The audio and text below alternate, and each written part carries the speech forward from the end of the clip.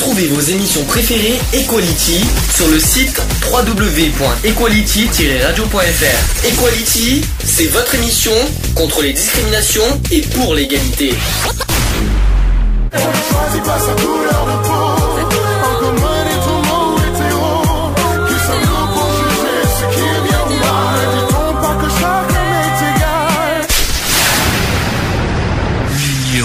Fait la force.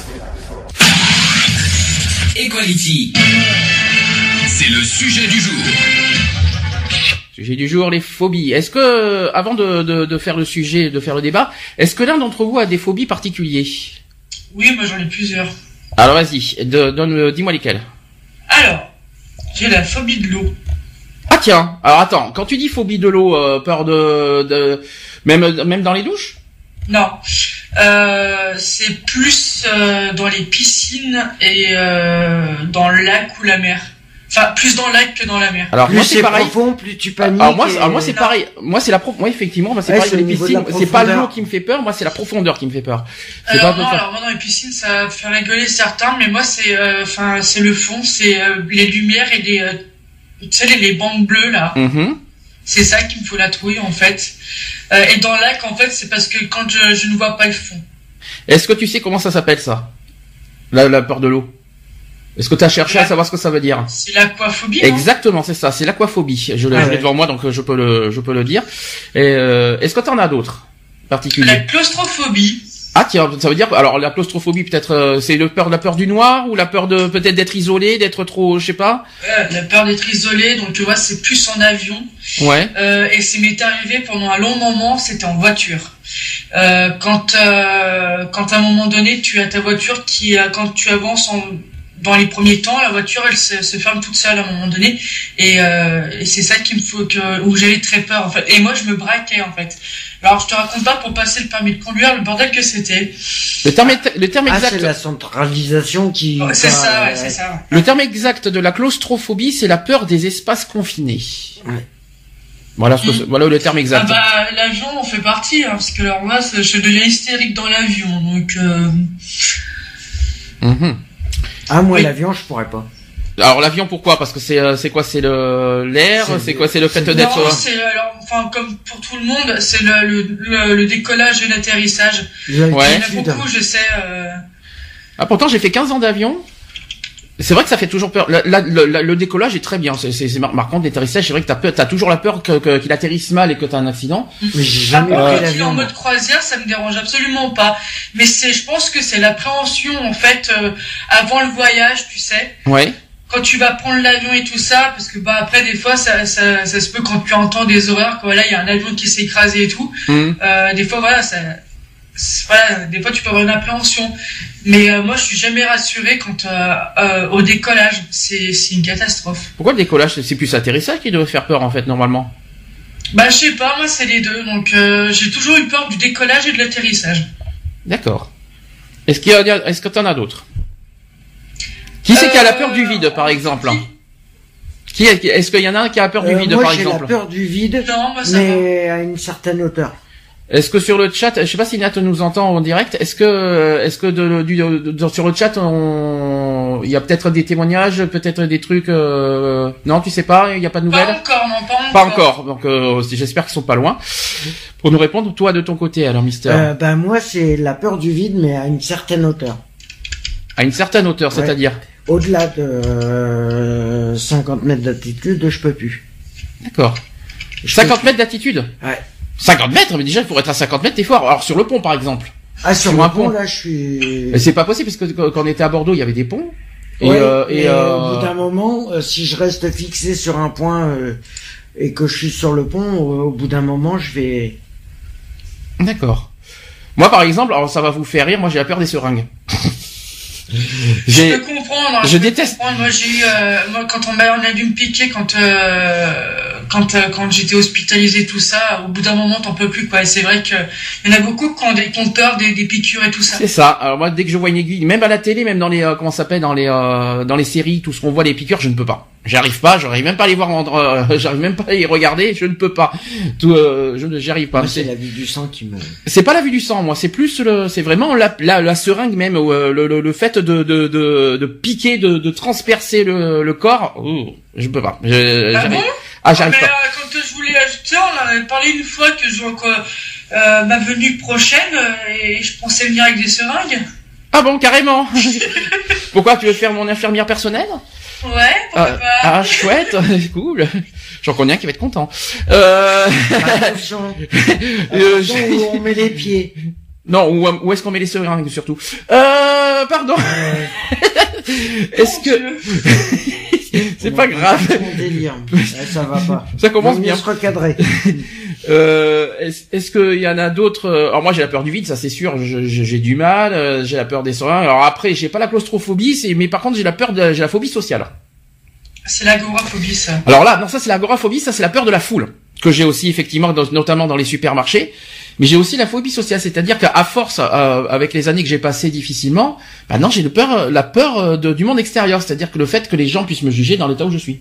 Ouais, je, ouais, je comprends. Donc, Ouais, du coup, aussi, je commence à. Donc du coup, euh, à Bordeaux, j'ai- j'ai j'ai souffert de ça personnellement parce que ça- voilà, dans une grande ville, c'est c'est vite fait, bien fait. Là, c'est pareil, dans- dans- que ce soit dans un lieu public, quand tu vas dans n'importe où, bah t'as toujours cette, cette cette peur quelque part. Donc euh, Ouais, mais est-ce que c'est pas parce que le fait que t'as changé de région aussi que tu connais personne?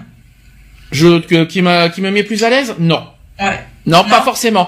Là, le, le fait que je suis euh, que j'ai changé de région, c'est plus par rapport à la santé, parce que je, je, je- la la ville, j'en pouvais plus. Il y avait plein plein de problèmes à Bordeaux que je vais pas Mhm. évoquer euh, à la radio. Là, ici, c'est parce que le paysage nous plaît, parce que euh, c'est mieux. C'est euh, voilà, c'est c'est c'est vrai que ça donne envie. Après, j'ai toujours la peur de ces euh, des, des personnes. Parce que Je, je dis pas que les- les- tout le monde me fait peur. Je, je suis obligé bien de sortir pour euh, voilà. Mais dès que dès que j'affronte un regard, bah voilà. C'est il y a toujours cette peur de- du ju- jugement de l'un, du jugement de l'autre, etc., etc. Quoi. Donc j'ai une phobie sociale euh, en quelque sorte quoi. Ouais. Ah bah j'en ai une autre, c'est, euh, je pense qu'il y en a beaucoup qui sont comme ça, c'est la phobie des araignées. La L'arachnophobie. l'arachnophobie. Alors ça, euh, j'en connais un particulièrement qui l'a. Une petite araignée qui tombe. Mmh, Ah, s'il y en a moi, qui. S'il y en a m'entend, s'il y en a un qui m'entend particulièrement en direct, là, il doit être bien content d'entendre ça. Non, mais moi par contre, ça a une certaine grosseur, tu vois, les petites ça me dérange pas. Il y en a aussi, c'est les toiles d'araignée, quand dès qu'ils voient une toile d'araignée. Mhm. Euh, mais euh, moi, c'est par contre euh, quand c'est assez gros, là oui, j'ai flippé. Notamment euh, cet été, euh, j'en avais une chez moi. euh, je suis restée toute la journée euh, dans, euh, cloîtrée dans ma chambre, hein, Mhm. tellement que j'avais la trouille. Hein. C'était horrible. Donc précision aussi par rapport au sujet là. Pour l'instant, on va parler des phobies. Dans, tout, euh, dans tous les critères euh, confondus, il n'y a pas que sur les animaux, sur les euh, sur les situations. Il y a aussi, euh, on va parler pas mal aussi sur les discriminations, notamment l'homophobie, phobie. Hein. Mhm. Voilà. hein. Euh, et puis euh, tout à l'heure, on parlera des superstitions aussi. Alors ça parce qu'on a vu un sujet il y a pas très longtemps sur l'émission C'est mon choix, on a été mort de rire et, euh, et on a dit qu'on va on va on va re- on va parler de ce sujet. Alors il y en a qui n'y croient pas du tout. Ah Moi non. non plus d'ailleurs, c'est fou c'est fou comme euh, par exemple un chat me porte malheur, j'ai un chat noir, c'est fou comme ça me porte malheur. C'est un Bref. chat noir qui passe sous une échelle et un vendredi 13. Ah ouais. voilà, pourquoi pas. On en parlera tout à l'heure. On en parlera il tout a à qui sont parapluies ouverts quand ils passent sous l'échelle aussi. Ah oui, ouais, bah, par contre, Ou je qu'il l'ouvre, ou qu'il l'ouvre euh, dans une maison. ouais. Par contre, il va falloir que ça soit une grande échelle, hein, parce que euh, parce que le parapluie ouvert sous une échelle, il va- il faut pas que ça soit un escabeau, hein, parce que ça va être difficile quand même. Hein. Tu responsable.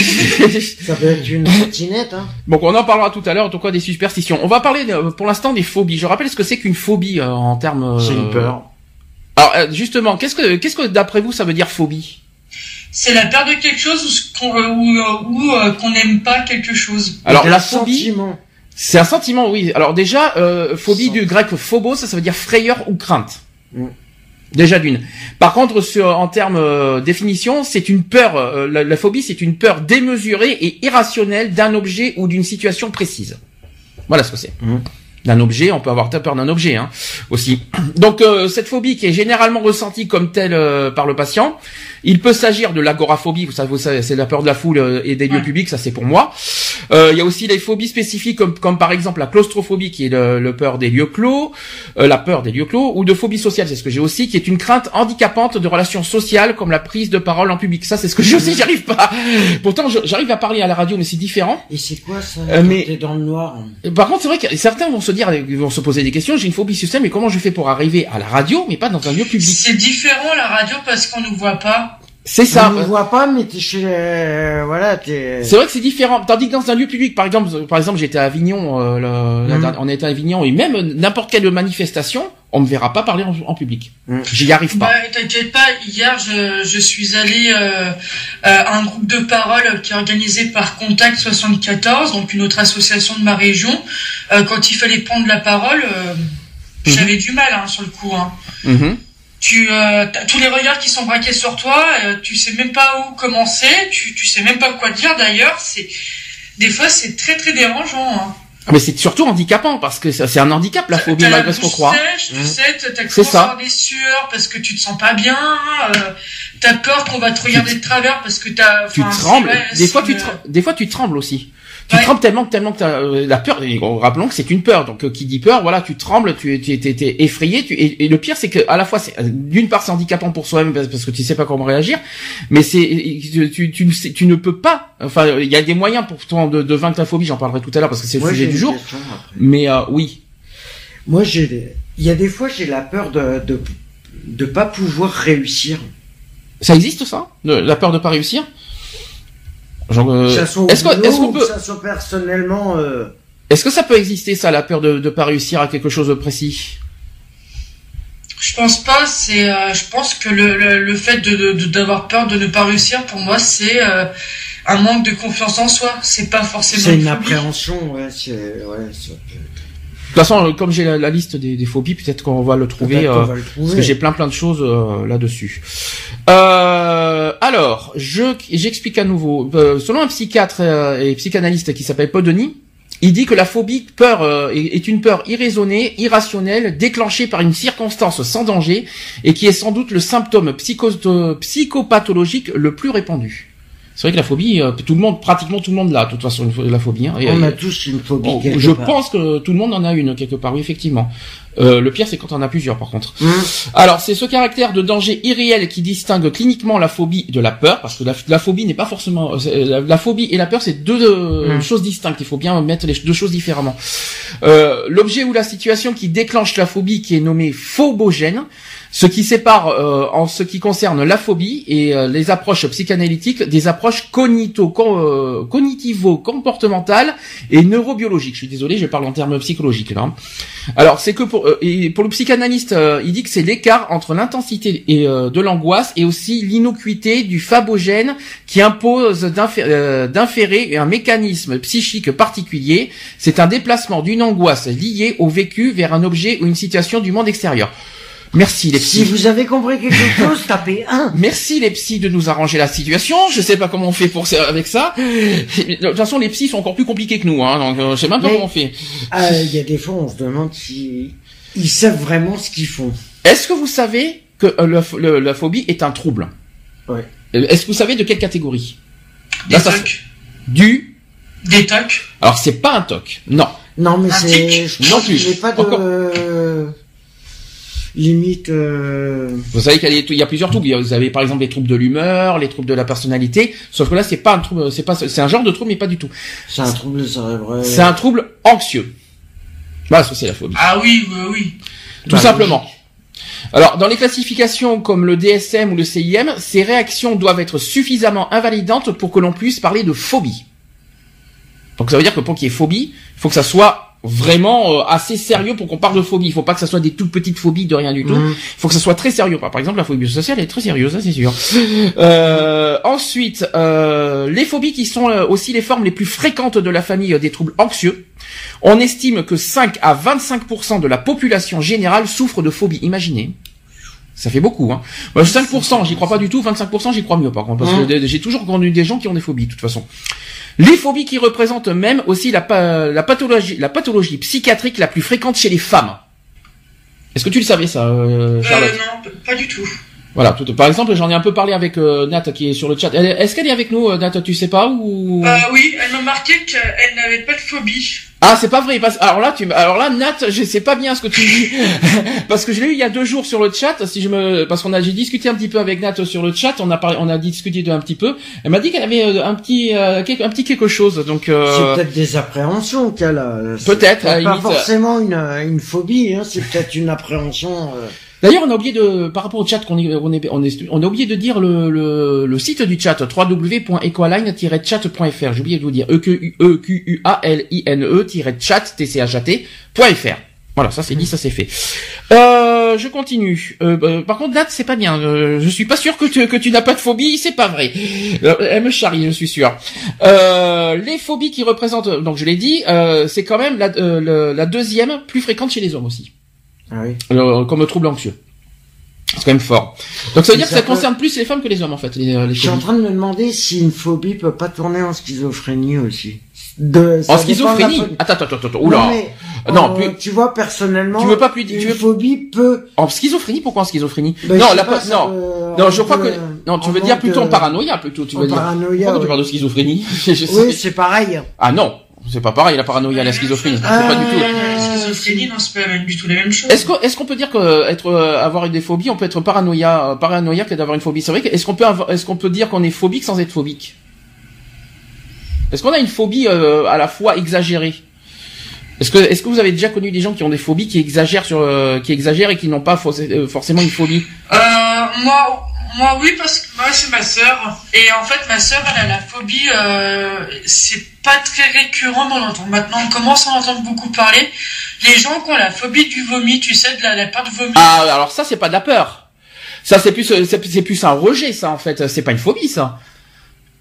Bah, ma c'est quoi, c'est elle a l'odeur la C'est- phobie de- elle c'est a- l'odeur. Elle, elle a peur de, de, de vomir et tout ça. Elle se met dans tous ses états. Ah la peur de et des fois, vomir. je me demande si elle le fait pas un peu exprès, mais après, bon, euh, Attends, quand tu dis qu'elle a peur du vomi, la peur que elle elle vomisse ou la peur de voir du vomi? Non, elle, elle, elle a peur qu'elle vomisse. C'est bizarre ça. La peur qu'elle vomisse, mais le problème c'est qu'on peut rien, on peut rien y faire là-dessus. Alors, imagine qu'elle a une gastro. C'est psychologue. Sauf que le, la gastro c'est pas du vomi. La gastro c'est l'estomac. Tu, tu, et la gastro, Enfin, tu- après, voilà, imagine t'as une gastro puis que tu voilà Bah. que ça part par en haut. euh. Enfin, par contre, j'espère que t'as pas la peur, euh, vous avez pas la peur de la diarrhée parce que sinon c'est mal barré. Donc, euh, oh joli, joli Charlotte. Elle est en forme aujourd'hui Charlotte. Je sais pas pourquoi, mais. C'est- elle a dit sinon on n'est pas dans la merde. Elle est en forme Charlotte aujourd'hui. Ça se voit qu'elle est de retour. hein. Euh, Écoute, hein. Donc, euh, rappelons aussi que le diagnostic nécessite d'écarter toute or- origine organique euh, de la symptôme, la Ouais, je vais y arriver. Symptomatologie, oh, j'ai pas de chance à chaque fois les termes biologiques moi. La symptomatologie, je crois que tout à l'heure je vais avoir du mal encore plus hein, avec les euh, parce que les superstitions, il y a de, j'ai du boulot tout à l'heure. Euh, notamment d'ailleurs des urgences pouvant avoir la même présentation, donc les infarctus, l'embolie pulmonaire, la phé, euh, la phéochromocytome, waouh, les AVC aussi et l'hypoglycémie. C'est un exemple. Donc c'est une névrose qui est plus, plus structurée. Donc un- on parle d'un trouble aussi euh, dysthymique qui, euh, ou une psychose. Ça, C'est un petit peu quand il y en a qui euh, un petit peu qui en font des psychoses, ça c'est vrai. La phobie qui se caractérise par une peur irrationnelle et majeure en présence du stimulus phobogène euh, euh, pouvant évoluer vers une attaque de panique si l'évitement n'est pas possible. Et oui, ça c'est ce qui m'arrive pas. Est-ce que quand quand vous avez euh, quand est-ce que ça vous quand vous avez une phobie euh, qui est est-ce que, jusqu'où ça comment vous vous sentez finalement face à la phobie de l'eau? Tiens je, vais- je vais revenir là-dessus parce que c'est assez original. Euh, Charlotte? Comment tu te sens? Euh, déjà déjà ça te prend à quel moment? Dès que tu vois la piscine ou une fois que t'es dedans? Alors ça dépend parce qu'il y a certaines piscines où ça me dérange pas, même si j'ai papier, mais Ouais. t'en as où je, où je peux pas. et plus tu t'approches Euh. qu'est-ce qui une fois plus tu t'approches de la piscine qu'est-ce qui t'arrive? Le, euh, bah en fait, euh, c'est que dès que, enfin même pas que je m'approche de la piscine, c'est dès que je vais dedans, celle où, où j'ai vraiment un, un- un problème, euh, je me sens pas bien, euh, limite je vais faire un malaise. Donc attends, donc t'as la phobie de l'eau, mais t'arrives quand même à, à te surpasser en, a- en allant dans une piscine quand même. Ouais. Et ça, euh, moi, j'ai toujours été comme ça, euh, d'essayer de surpasser mes peurs en fait. Euh, je me rappelle quand j'étais dans le lac, par exemple, euh, comme j'aime pas du tout euh, quand, quand le, le lac, c'est quand même tu vois pas le fond. dès que je le voyais pas, et ben je me mettais sur le dos pour, pour pour nager. Comme ça, au moins, je regardais le ciel pour aller jusqu'à un point donné. Euh, il y a aussi euh, dans, dans, dans le lac, euh, t'as des euh, t'as des bouées avec des chaînes. Ça, je peux pas m'en approcher du tout. Mm-hmm. Après, moi, j'ai un vécu derrière aussi qui fait que j'ai euh, j'ai une peur incontrôlée de ça. Mais mais quand par exemple, je vais dans une piscine, je vais essayer d'aller dedans. Et euh, dès que je vois que c'est que je peux pas, que je peux pas avancer, bon là par contre je sors quoi, donc ça sert à rien. Et c'est là, que, et c'est là que la panique commence, c'est ça? Ouais ouais, mais moi une fois j'ai fait me noyer dans la piscine hein, tellement que j'avais la trouille. Mais c'était c'est vraiment l'eau, c'est la profondeur qui te fait peur? C'est la profondeur. Ah, c'est pas la même chose parce que la peur de l'eau, c'est euh, c'est la matière, tu vois ce que je veux dire. Ouais, non, Donc c'est plus c'est la profondeur, c'est euh, tout ce qui est. Euh, par exemple, chez moi, on a une on a une piscine, enfin euh, comment une, piscine municipale, elle fait 3 mètres. Ah, t'as le même problème que moi. Parce jamais, je peux pas, je peux pas aller dedans, quoi. Ah, mais t'as le même problème que moi parce que moi, là, par exemple, quand je vais dans, au plan d'eau, tout va bien parce que la profondeur va, mais une fois qu'il y a une profondeur de je sais pas combien de mètres, je peux pas. Euh, je, c'est pas la peine de rêver, ah, je peux pas. Du moment que je, je sens plus le, le sol, euh, c'est fichu. Et à la plage, c'est comment? C'est pareil. Miss Charlotte euh, La plage, euh, je peux me contrôler, donc euh, j'arrive à me contrôler quand parce que quand il y a des gens, quand il y a des gens avec moi, ça va. Mais si je vais nager toute seule, bah je vais nager là où j'ai pied. Je vais pas m'aventurer à nager où j'ai pas pied. D'accord. Et donc forcément, dès que dès que tu ne sens plus le sol, hmm. donc forcément. Ouais, par contre, alors là, je pète un câble. Par contre, par contre, dans la mer, ça me fait absolument rien. Je peux nager où j'ai pas pied. Ah, alors c'est pas logique. Hein. Donc euh, là, là c'est plus la piscine finalement. C'est pas. C'est, c'est, euh, Après, comme je te disais, moi j'ai un vécu par rapport aux deux. Donc euh, il y a aussi ça qui a fait qu'il y a eu à un moment donné, ça a freiné dans ma dans ma dans ma tête en me disant attention danger, j'ai peur parce qu'on m'avait parce qu'on parce que plusieurs personnes, enfin deux, m'ont poussé par exemple dans dans la dans dans la piscine. je venais d'apprendre à nager toute seule et on m'a on m'a poussé dans la piscine. Donc voilà. Euh, le, le, lac, c'est pareil. Une fois, on m'a poussé dedans, euh, on m'a poussé dans le lac et tout ça, et j'ai voulu rentrer euh, au niveau pour aller voir mon père, enfin mes parents. Et en fait, si tu veux, dans les lacs, des fois, t'as des comment t'as des t'as, as des plantes qui sont assez hautes. Il y en a une qui m'a chatouillé le ventre. J'ai me demandé ce que c'était, j'ai eu peur. J'ai fait une crise d'angoisse, j'ai fait me noyer. D'accord. Voilà. Donc c'est aussi c'est pour ça que que j'ai peur de que j'ai peur dans l'eau quoi. Je me sens pas rassuré ni rien. C'est pas la matière en elle-même que je vais avoir peur, c'est euh, c'est ce qu'il y a autour en fait et ce qu'il y a dedans quoi. C'est euh, euh, s'il y a du s'il y a de la vase par exemple, je vais pas me baigner non plus quoi. Tu vois, c'est voilà, j'ai mhm. faut que je sois en confiance. D'accord. Est-ce que vous savez qu'il y a des qu'il existe des classifications sur les phobies? Et on distingue trois. Alors moi j'ai pas de chance. Je vais vous dire pourquoi après. Moi j'ai vraiment pas de chance. J'ai les trois. Donc euh, je vous allez comprendre pourquoi. j'ai pas de chance. Moi vous allez comprendre. Il y a trois catégories de phobie. Euh, donc le premier c'est sur les phobies spécifiques on appelle aussi des phobies simples euh, où les symptômes sont déclenchés par un objet externe donc la souris, les avions, le sang, etc. et souvent négligés par l'entourage qui est parfois tourné en ridicule. Elles peuvent être source de détresse psychologique majeure et dans certains cas d'un impact sérieux sur la qualité de vie. Donc euh, on parle des phobies des transports, la phobie des animaux, la phobie des phénomènes naturels, etc. Voilà, ça c'est la phobie simple. Donc ce que tu as, euh, Miss Charlotte, c'est du simple. D'accord. Là, par exemple, la peur du vide que j'ai, c'est un comportement, c'est une phobie simple. Oui, ouais, ouais. Jusque là, vous suivez. Ouais. La deuxième classification, et c'est là que j'ai pas de chance aussi, la phobie sociale, ou, anxiété sociale, c'est-à-dire la peur d'interagir avec les autres, de réaliser aussi certaines actions devant d'autres personnes. Par exemple, on parle aussi de la blémophobie, qui est la peur du regard des autres. Coucou, je suis là. j'ai pas de chance là-dessus. Ou encore l'érotophobie, qui est la peur de rougir. Ça, ça, on s'en fout. Euh, il y a la phobie sociale qui n'est pas euh, une simple timidité, mais c'est un trouble chronique invalidant. Hmm. C'est terrible de dire ça, et qui est caractérisé notamment par une anxiété intense et qui est un évitement de la plupart des situations sociales, pouvant causer une détresse considérable et entraîner une dépression. Hmm. Ce que je dis, c'est réel. Et malheureusement, par peur de regard des autres, euh, j'ai pas de bol. Hein. Et la troisième classification, histoire de remettre une, bien couche, c'est l'agoraphobie. C'est-à-dire la peur de quitter son environnement proche et de se retrouver dans un endroit où il serait difficile ou gênant de s'extraire. Mm. Voilà ce que c'est le, voilà les trois classifications. Alors déjà. Alors attends, je te coupe parce que alors euh, Nathalie donc m'a mis un truc donc elle, elle a la phobie du noir donc elle dit que je ne peux pas rester quelque part où il fait complètement noir. Alors attention, qu'on est bien d'accord, c'est pas la couleur noire, hein. c'est c'est le noir, c'est-à-dire la, on est bien d'accord. Parce que quand t'entends parce que quand t'entends t'as la peur du noir, ça peut être la couleur noire aussi en même temps.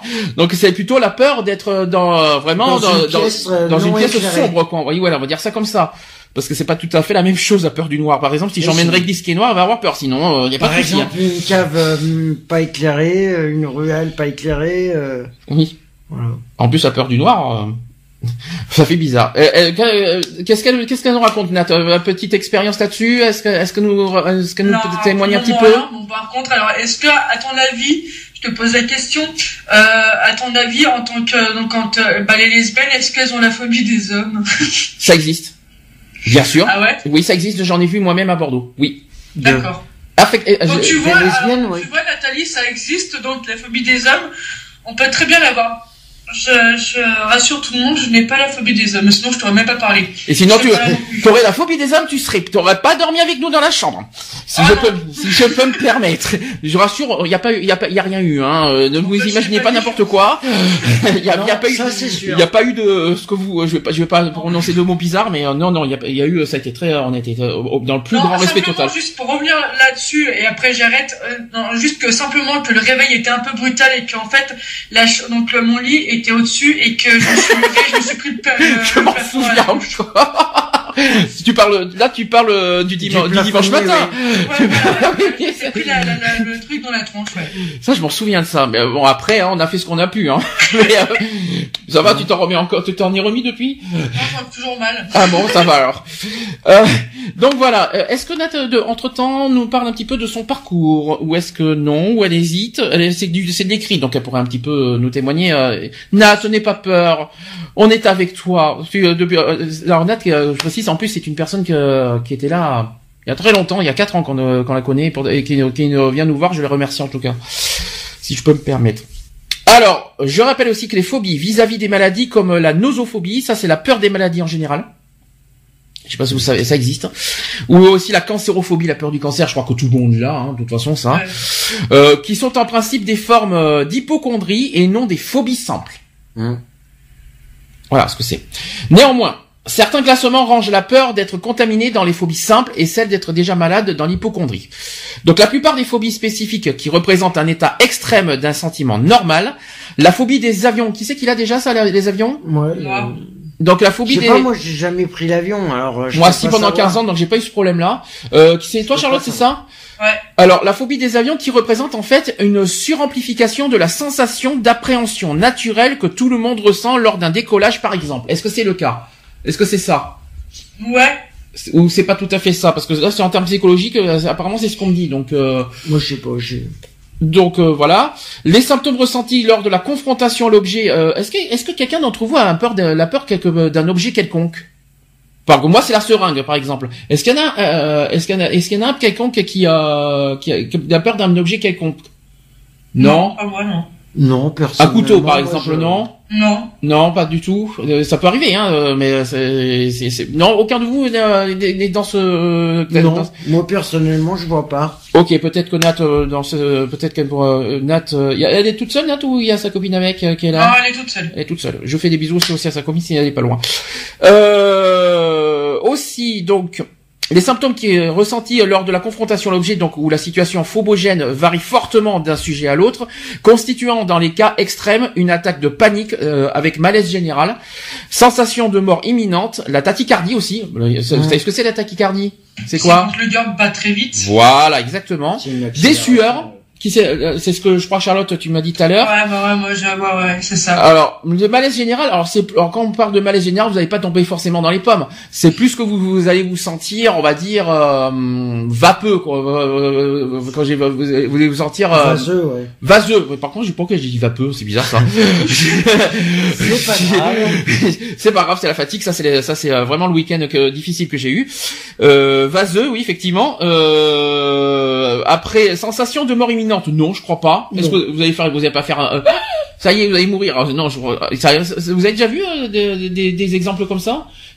Tellement que la phobie est forte qu'on peut en mourir. Est-ce que, est-ce que vous avez déjà eu des exemples comme ça? Est-ce qu'on peut en Euh, mourir d'une phobie, pas d'ailleurs C'est une bonne question, ça.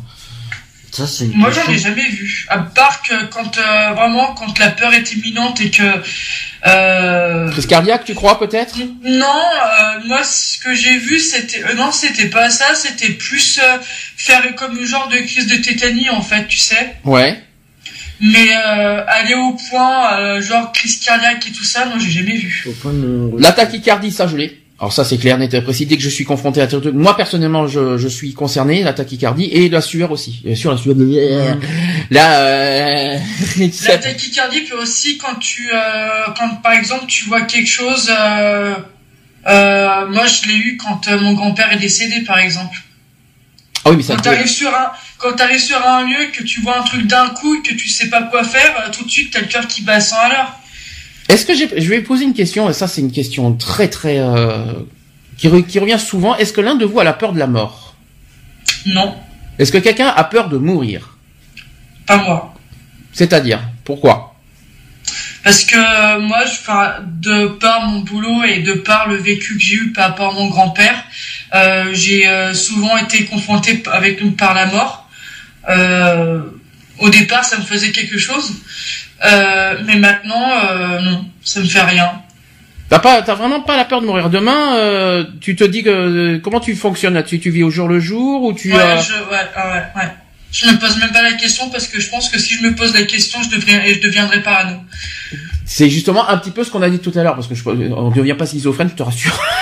on devient effectivement parano. Alors c'est, euh, on va Ah, rev- entendu, Alex, hein, parano, dit, hein. parano. On revient là-dessus. Mais ça tombe très bien qu'on pose quelque chose de, de, de parano, euh, de para, le- le- la paranoïa. Est-ce qu'on peut être pas, est-ce que finalement on peut être euh, quelque part, euh, on est quelque part euh, pris par euh, cette phobie, c'est-à-dire que euh, c'est, c'est toutes ces phobies qu'on vit, quelque part ça ne, euh, on est pris. euh, mince, comment vous dire ça?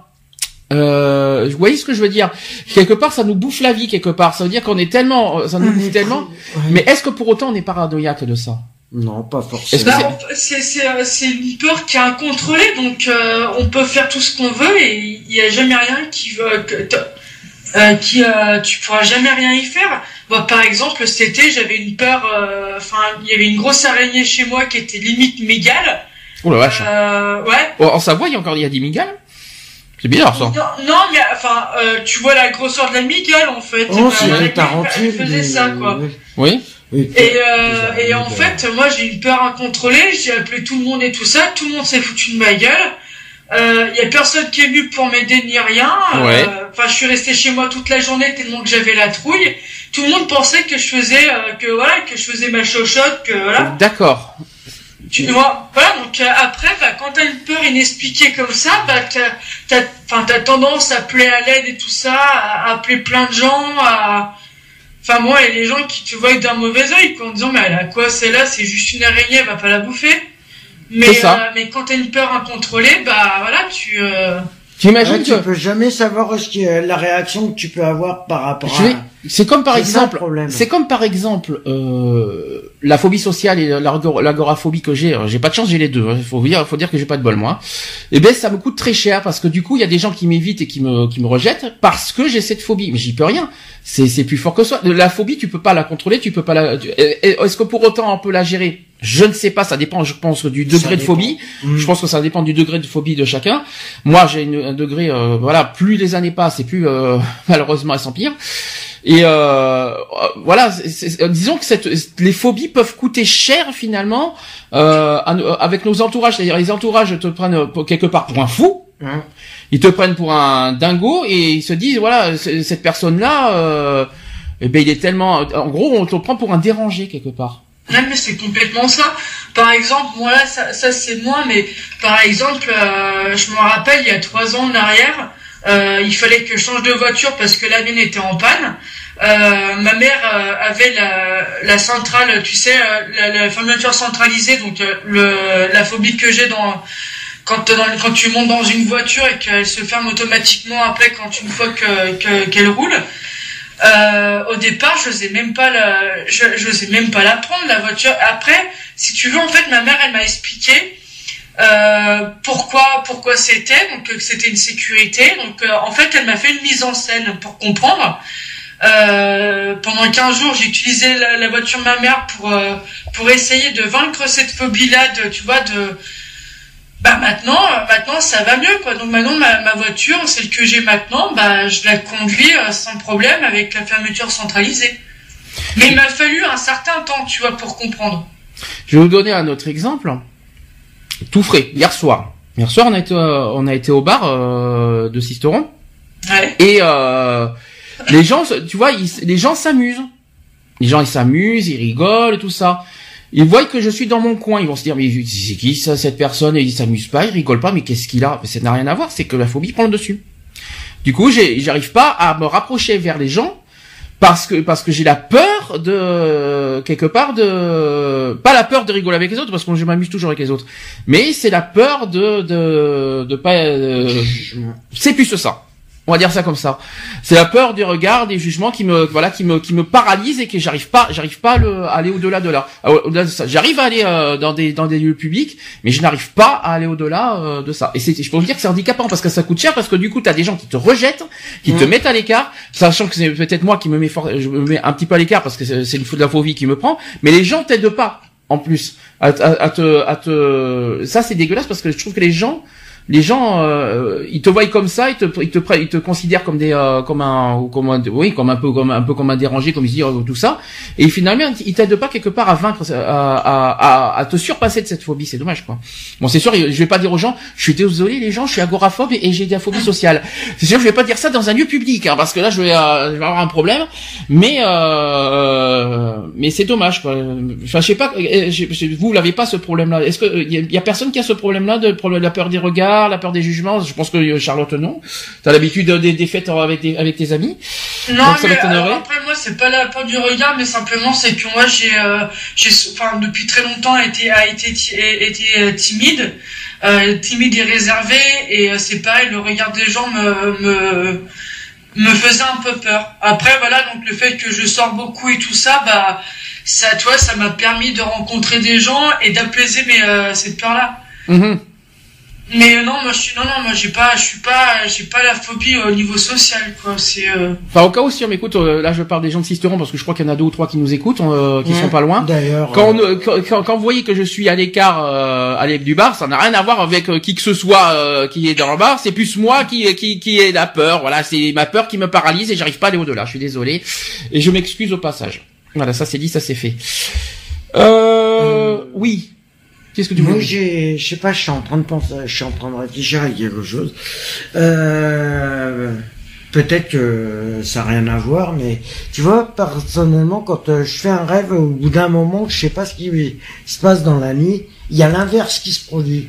Par exemple, je vais penser à un truc de, de bien, ou, et au bout d'un moment, le, le, l'inverse se pre- va se- dans le propre rêve. hein. J'ai, en fin de compte, j'ai le contraire. Quel est le rapport avec la phobie? Ben, je sais pas, j'ai, j'ai l'impression, euh, et pendant la nuit, je vais m'angoisser, euh, Oui, mais là ça n'a rien à voir avec la phobie, ça. non, je sais pas. C'est, La phobie de rêver, ça serait fort quand même, par contre. Est-ce Non, que, mais est-ce qu'on voilà, peut avoir la c'est- phobie de faire un cauchemar? Ouh, youpi ça, serait- Euh. bon, ça serait fort quand même. hein. Bon, alors les critères dia- diagnostiques de la phobie spécifique sont les suivants. Donc vous allez comprendre et vous allez me dire si oui ou non vous êtes euh, si vous êtes d'accord avec ça.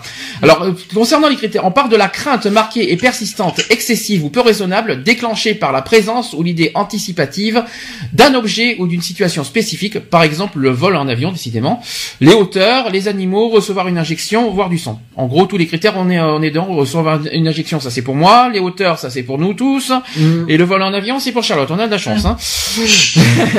Deuxième point, c'est sur l'exposition au stimulus, au phobique qui provoque euh, presque invariablement une réponse immédiate d'inquiétude qui peut prendre la forme soit d'une crise de panique liée à la situation, soit d'une prédisposition à une telle crise. Je vais vous donner un exemple aussi, mais par contre chez les enfants c'est différent parce que chez les enfants l'inquiétude peut être exprimée en pleurant, par de la mauvaise humeur, par de la rigidité ou euh, en, se cramponnant. Mm. Je sais pas si vous avez affaire aussi à des, phobies euh, chez les enfants. Euh, moi oui. Moi oui, c'est moi c'est ce qui m'est arrivé pour le vide. Mm. Moi, ma première phobie qui, qui m'est arrivée, c'était le vide, de toute façon. Donc, oui, j'ai, c'est parce que la phobie, d'ailleurs, vos phobies, ça date depuis toujours ou c'est récent? Moi, la phobie de l'eau, ça date depuis que je suis petite. Par contre, la phobie de l'avion, ça a été toujours. Ça a été toujours, d'accord. Ouais. Donc on peut. j'ai beau prendre l'avion à 36 fois et tout ça, ça sera toujours la même. D'accord. Et euh, tu penses que tu, tu vas y arriver à, sur, à, à surpasser ou ça sera jamais d'après toi? Euh, Je peux prendre l'avion mais à petite dose. D'accord. Après, quand c'est vraiment euh, au départ, c'est quand j'étais avec mes parents, quand je partais avec mes parents en vacances et tout ça. Là, par contre, ça venait plus en, de, c'était horrible. Euh, parce que en fait il y avait en plus de l'appréhension donc euh, et puis pas envie de partir en vacances et tout ça. Euh, donc forcément ça te met encore un truc en plus. Mais quand c'est moi qui ai préparé mon voyage et tout ça là c'est un peu moins. J'aurais une petite appréhension mais si je suis avec une personne de confiance ça va. D'accord. Tu fais pas par rapport à l'avion il y en a qui font comme ça je sais pas si tu fonctionnes comme ça mais tu prends un médicament?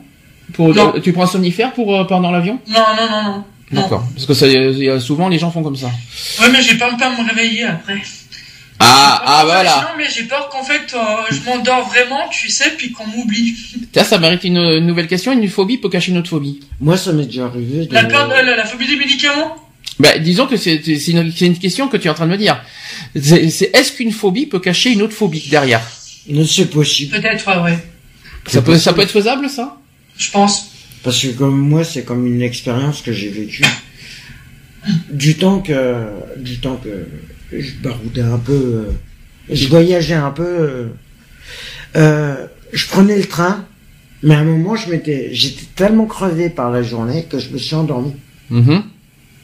Et en fin de compte, arrivé au terminus, sachant que je dormais, je me suis réveillé pratiquement le lendemain matin. Mm-hmm. Le train y repartait. Oh merde. En fin de compte, euh, en fin de compte, j'ai sauté en marche. D'accord. Le train était en train de repartir et moi j'étais resté dedans, personne n'était venu me réveiller. D'accord, c'est marrant, c'est malin ça par contre. Est-ce que t'as fait voyage gratuit du coup? Bah oui. bah heureusement, hein, parce que bah oui, j'avais pris un train de nuit exprès pour euh, éviter de. Super. Ah mais tiens d'ailleurs, peur de l'avion mais pas peur du train, c'est étonnant ça. Ouais. Pour, euh, ah, c'est quoi Mais moi le, je sais pas si j'ai peur de l'avion, sachant que j'ai jamais pris l'avion. Et pourtant, et pourtant, et pourtant, rappelez bien ce que je vais vous dire, c'est qu'il y a plus d'accidents en train qu'en avion. Ouais. ouais ça a été prouvé ça. Euh, et le pire en plus, c'est que moi j'adore quand le train, tu sais, quand t'es à l'envers de la marche, le train avance et toi t'es de l'autre côté en train de marcher. J'adore mmh. ça. Mmh. Enfin non mais. Euh... Je te dis, je suis pas normal. Oh, je t'en prie. Euh, pourquoi ça, tu, pourquoi tu serais pas ah, normal? J'ai peur de l'avion, j'ai pas peur du train. Euh, bon, le bateau, ça va aussi, donc euh, je l'ai pris plusieurs fois. Et ah, bateau, moi je pourrais pas parce que justement, moi j'ai du mal de mer. Alors, ah, c'est pas une chose. Pas. Moi, le bateau, que ça soit bateau. J'ai rien contre les bateaux, mais j'ai le mal de mer, donc j'y arrive pas. donc, euh, c'est, ça n'a rien, mais c'est pas une phobie le mal de mer. Attention, euh, nuance, c'est pas la même chose. Alors, troisième critère, euh, diagnostic. Moi, de passer par-dessus bord. Alors, un troisième critère diagnostic de la phobie, c'est que la personne admet que la crainte est excessive ou peu raisonnable. À noter que chez les enfants, cette caractéristique peut être absente. Hmm. Pourquoi pas? Quatrième critère, c'est que les situations phobiques sont évitées ou bien sont supportées avec une inquiétude ou une détresse intense. Alors moi, je suis pas d'accord. Euh, quand la détresse est intense, elles sont pas évitées. Hein. Ah non, euh, t'es, tellement paralysé euh, que, que, ça peut pas être évité. Hein. Au contraire, c'est pire. Je, je suis, je suis pas tellement d'accord avec ça, moi. Donc, euh, bon, c'est chacun son, chacun son truc aussi. Alors, le euh, cinquième critère, c'est que l'évitement, qui est l'anticipation anxieuse euh, ou la détresse. euh, non, alors fait plusieurs choses. L'évitement, l'anticipation anxieuse ou la détresse dans la situation redoutée interfère de manière significative avec le quotidien normal de la personne, avec son fonctionnement professionnel ou scolaire, avec ses activités et rapports sociaux, où il y a une détresse marquée due au fait d'être sujet à la phobie. Si vous avez compris quelque chose, tapez 1. Euh, Moi-même, Qu'est-ce que notre euh, elle, euh, elle pense de tout ça? Bah, tu- euh, j'espère qu'elle réagit en même temps. Oui, Oui. voilà. Donc si euh, dès qu'elle réagit, tu, euh, tu nous fais signe, euh, Charlotte. Pas, ouais, ouais. Euh, autre critère, c'est que pour les personnes de moins de 18 ans, la situation perdure depuis, euh, depuis au moins 6 mois. Pourquoi pas? Pas sûr. Pas sûr. Euh, et il faut aussi que, il faut que l'inquiétude, les crises de panique ou l'évitement phobique lié à l'objet ou à la situation ne s'explique pas mieux par un autre trouble mental. Ça, c'est vrai, par contre. C'est vrai qu'il faut pas, il faut dire que la- ça veut dire que la phobie ne doit pas être, euh, le- disons que la cause de la phobie ne doit pas être liée avec une autre euh, pathologie, si vous préférez. Hmm. C'est ça. Sinon, euh, sinon c'est trop logique. Par exemple, si tu as peur de l'avion, faut pas que ça soit à cause euh, de l'objet, de l'avion même, quoi. Faut que ça soit à cause. euh, il faut qu'il y ait un trouble euh, sur le moment, sur l'instant, en quelque sorte. Je sais pas Mhm. comment expliquer, mais est-ce qu'on peut avoir, est-ce qu'on peut avoir peur de quelque chose rien qu'en voyant quelque chose? Et pourquoi? C'est idiot. Est-ce qu'on peut, est-ce qu'on peut dire qu'on peut avoir peur de quelque chose rien qu'en, rien qu'en voyant? Ben non, pas du tout. Il faut Moi, qu'il y ait- personnellement, par rapport à l'avion, euh, ça me rappelle une Alors, quand situation. je- ça date du mois de. Je parle pas forcément d'avion, je parle d'un objet surtout. Je parle d'un objet 2014. surtout parce qu'il y en a qui ont des phobies de l'objet et des animaux aussi en quelque Mhm. sorte. Des Je- légumes aussi, des fruits. C'est voilà par exemple. Mais est-ce que franchement on peut avoir, on peut, euh, il faut qu'il y ait une situation précise, il faut qu'il se passe quelque chose pour qu'on soit phobique.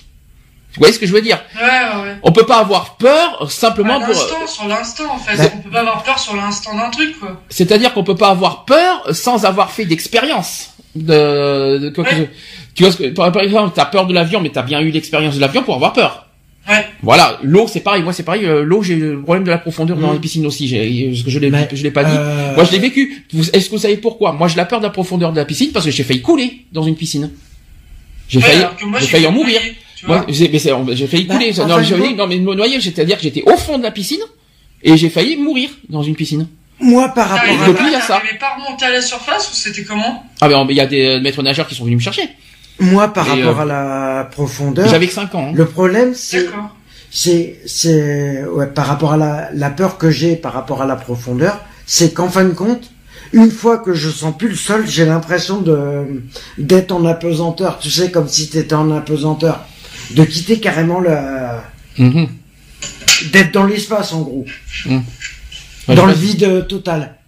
enfin, dans un si- trou euh, Je me rappelle plus si j'avais 5 ans, mais je sais, je sais que j'étais euh, j'étais en primaire. et euh, par rapport à la, par rapport à l'avion, non, moi sachant que j'ai jamais pris l'avion, je peux pas dire que j'ai une phobie. Moi l'avion non. L'avion, moi j'ai eu l'expérience pendant 15 ans et j'ai pas ce problème-là. Mais même de l'objet, de l'avion en lui-même, euh, l'objet, l'avion, euh, non, puisque une histoire que Ils vont se, il y a des gens qui vont se dire mais comment j'ai fait pour prendre l'avion pendant 15 ans? C'est tout simple parce que j'ai fait, Paris-Bordeaux en avion pour voir mon père. Donc c'est pour ça. Euh, en- pas de phobie particulière. non mais je pense qu'il faut une expérience précise pour avoir une phobie. Mm. Euh, je pense par exemple, tu vois, l'avion, il faut être dans l'avion pour avoir peur. Par exemple, l'eau, il faut, il faut, il faut avoir, euh, il faut l'expérience. Ah si, tu veux, tu, vas pas, Il y en a qui peuvent avoir la phobie de l'avion parce que euh, Comme ça. c'est le Ops, comme c'est ça. l'avion en lui-même. Mais c'est idiot. Le bruit, ça peut être. Mais c'est euh, Non, mais idiot. parce que moi, une fois, j'ai entendu dire, il y avait une nana, parce que pareil, euh, on était au restaurant, et une nana me disait, bah moi, j'ai peur de, j'ai peur de l'avion. Je dis, mais est-ce que tu l'as pris? Non. Ah bah non, c'est pas logique. Alors est-ce que c'est le Ah fait bah non, c'est pas une phobie. Alors ça, après, c'est par rapport à Alors ce c'est plus. Alors je pense. Voilà, c'est ça. Je pense que c'est le problème des accidents Ouais. Avec tout ce qu'on avait entendu euh, les, les années Les précédentes. euh, Voilà, je pense que c'est plus ça qui fait peur. Après, il, fait- il peut y avoir des situations, mais je pense qu'il faut. euh, Est-ce que pour vous, il faut qu'on le vive pour pour, pour qu'on soit phobique? Voilà la, la vraie question. Bah, Est-ce qu'il faut vivre une situation si- pour avoir une phobie? Si tu as peur de quelque j'ai chose, c'est que tu l'as J'ai vécu. jamais eu d'accident en avion, quoi, donc euh, non. Mais euh, voilà, moi, enfin moi, c'est le fait d'être enfermé dans l'avion. bah, moi, je me dis que, enfin, euh, parce que pour moi, c'est si jamais il y a un problème et que je peux pas en sortir. Qui c'est qui m'a parlé de claustrophobie tout à l'heure? Et moi, Charlotte, euh, par rapport à cette situation, tu l'as vécu? De, La claustrophobie Tu l'as vécu, t'as été dans un endroit particulier pour euh, pour que ça t'a mis dans cet état de, de- et que t'as peur d'être isolé euh, dans un endroit, enfin confiné dans un espace. euh, Tu vois ce que je veux dire? T'as t'as été dans un truc précis qui est pour te mettre dans cet état? Euh, ouais, enfin, dans mon ancien appartement, un jour, j'avais pété la, j'avais pété la, la serrure et que j'étais resté coincé pendant je sais pas combien de temps que je pouvais pas sortir. Voilà, seringue, c'est pareil. Euh, vous allez me dire, j'ai peur des seringues. Bah oui. ouais. Dès que je, ce que je veux dire, ce, que- ce qui s'est passé, c'est que j'ai la peur des seringues à cause depuis la- le gaz du sang. Alors j'ai vu des ces trucs parce qu'on m'a piqué au moins 4 milliards de fois. Mhm. Et ça m'a fait tellement mal que euh, ah, le gaz du sang, je, je le souhaite à personne. Je vous dis franchement, j'ai j'ai vécu une, j'ai j'ai vécu un enfer ce jour-là. Donc c'est pour ça que depuis. euh, Nathalie Nathalie qui a réagi dit qu'elle a eu le, le- elle a la peur du noir depuis petite. Mhm. Et depuis ce jour, euh, ça ne ça, ça ne s'évapore ça ne s'évapore Non. pas en fait. Ah bah. D'accord. Donc en fait, il donc c'est bien ce que je dis. Pour avoir une phobie, il faut le vivre. Il, faut- il faut le vivre, ouais. Donc euh, sinon, si c'est juste à l'avoir peur parce que tu entends aux infos à droite à gauche des choses, est-ce que pour nous, est-ce qu'il faut, est-ce qu'on peut avoir une phobie parce qu'on entend des choses dans les infos? Les crashs d'avion, par exemple. Bah, moi, je me mets à la place de la famille qui perd un, un proche, mais après d'avoir vraiment peur parce qu'il y a eu un crash d'avion, non. Ah, c'est pas stupide ça. Donc tu es en train de me dire qu'il faut qu'il y ait l'expérience d'un- d'une tierce personne ou de, de, de, de ses proches pour avoir peur à son tour de de pas le faire. C'est-à-dire euh, le fait qu'on a perdu une personne proche, euh, que, que ce soit dans un accident de train, un accident de- d'avion, un accident de voiture aussi, il faut pas l'oublier, et que depuis, par exemple, par exemple, il y a des gens qui ne prennent pas les voitures parce que son fils, par exemple, oh, je dis n'importe quoi, mais c'est un exemple, parce que son fils a eu un accident de voiture. Est-ce que c'est possible ça? Ça peut être possible. Après, je pense pas qu'on faut qu'on le mette dans la catégorie phobie, mais plus Non. dans les appréhensions. Mhm. Là, pour moi, la phobie, il faut l'avoir vécue. C'est ça, c'est pour, ça que j'insiste là-dessus parce que il y a, c'est pour ça qu'on a parlé de paranoïa, de, de plein de choses parce que euh, il, faut, il faut être, euh, c'est un trouble anxieux pour avoir, pour être anxieux, euh, je sais pas, c'est, hyper compliqué en fait à, à répondre à ça, mais, Mais- euh, Après, Je- après, le fait que, admettons, t'as un parent qui perd son enfant parce qu'il est euh, dans un accident de la route et qui veut plus prendre euh, la voiture, c'est en fait, c'est un état, euh, je pense que c'est un état de choc. En fait, ça augmente l'appréhension de, de, de la voiture, quoi. mhm. Et dès que tu as l'image, en fait, le problème c'est que c'est plus un, un autre trouble parce qu'en fait, dès que tu vois l'image de la voiture, tu vois l'image de l'accident.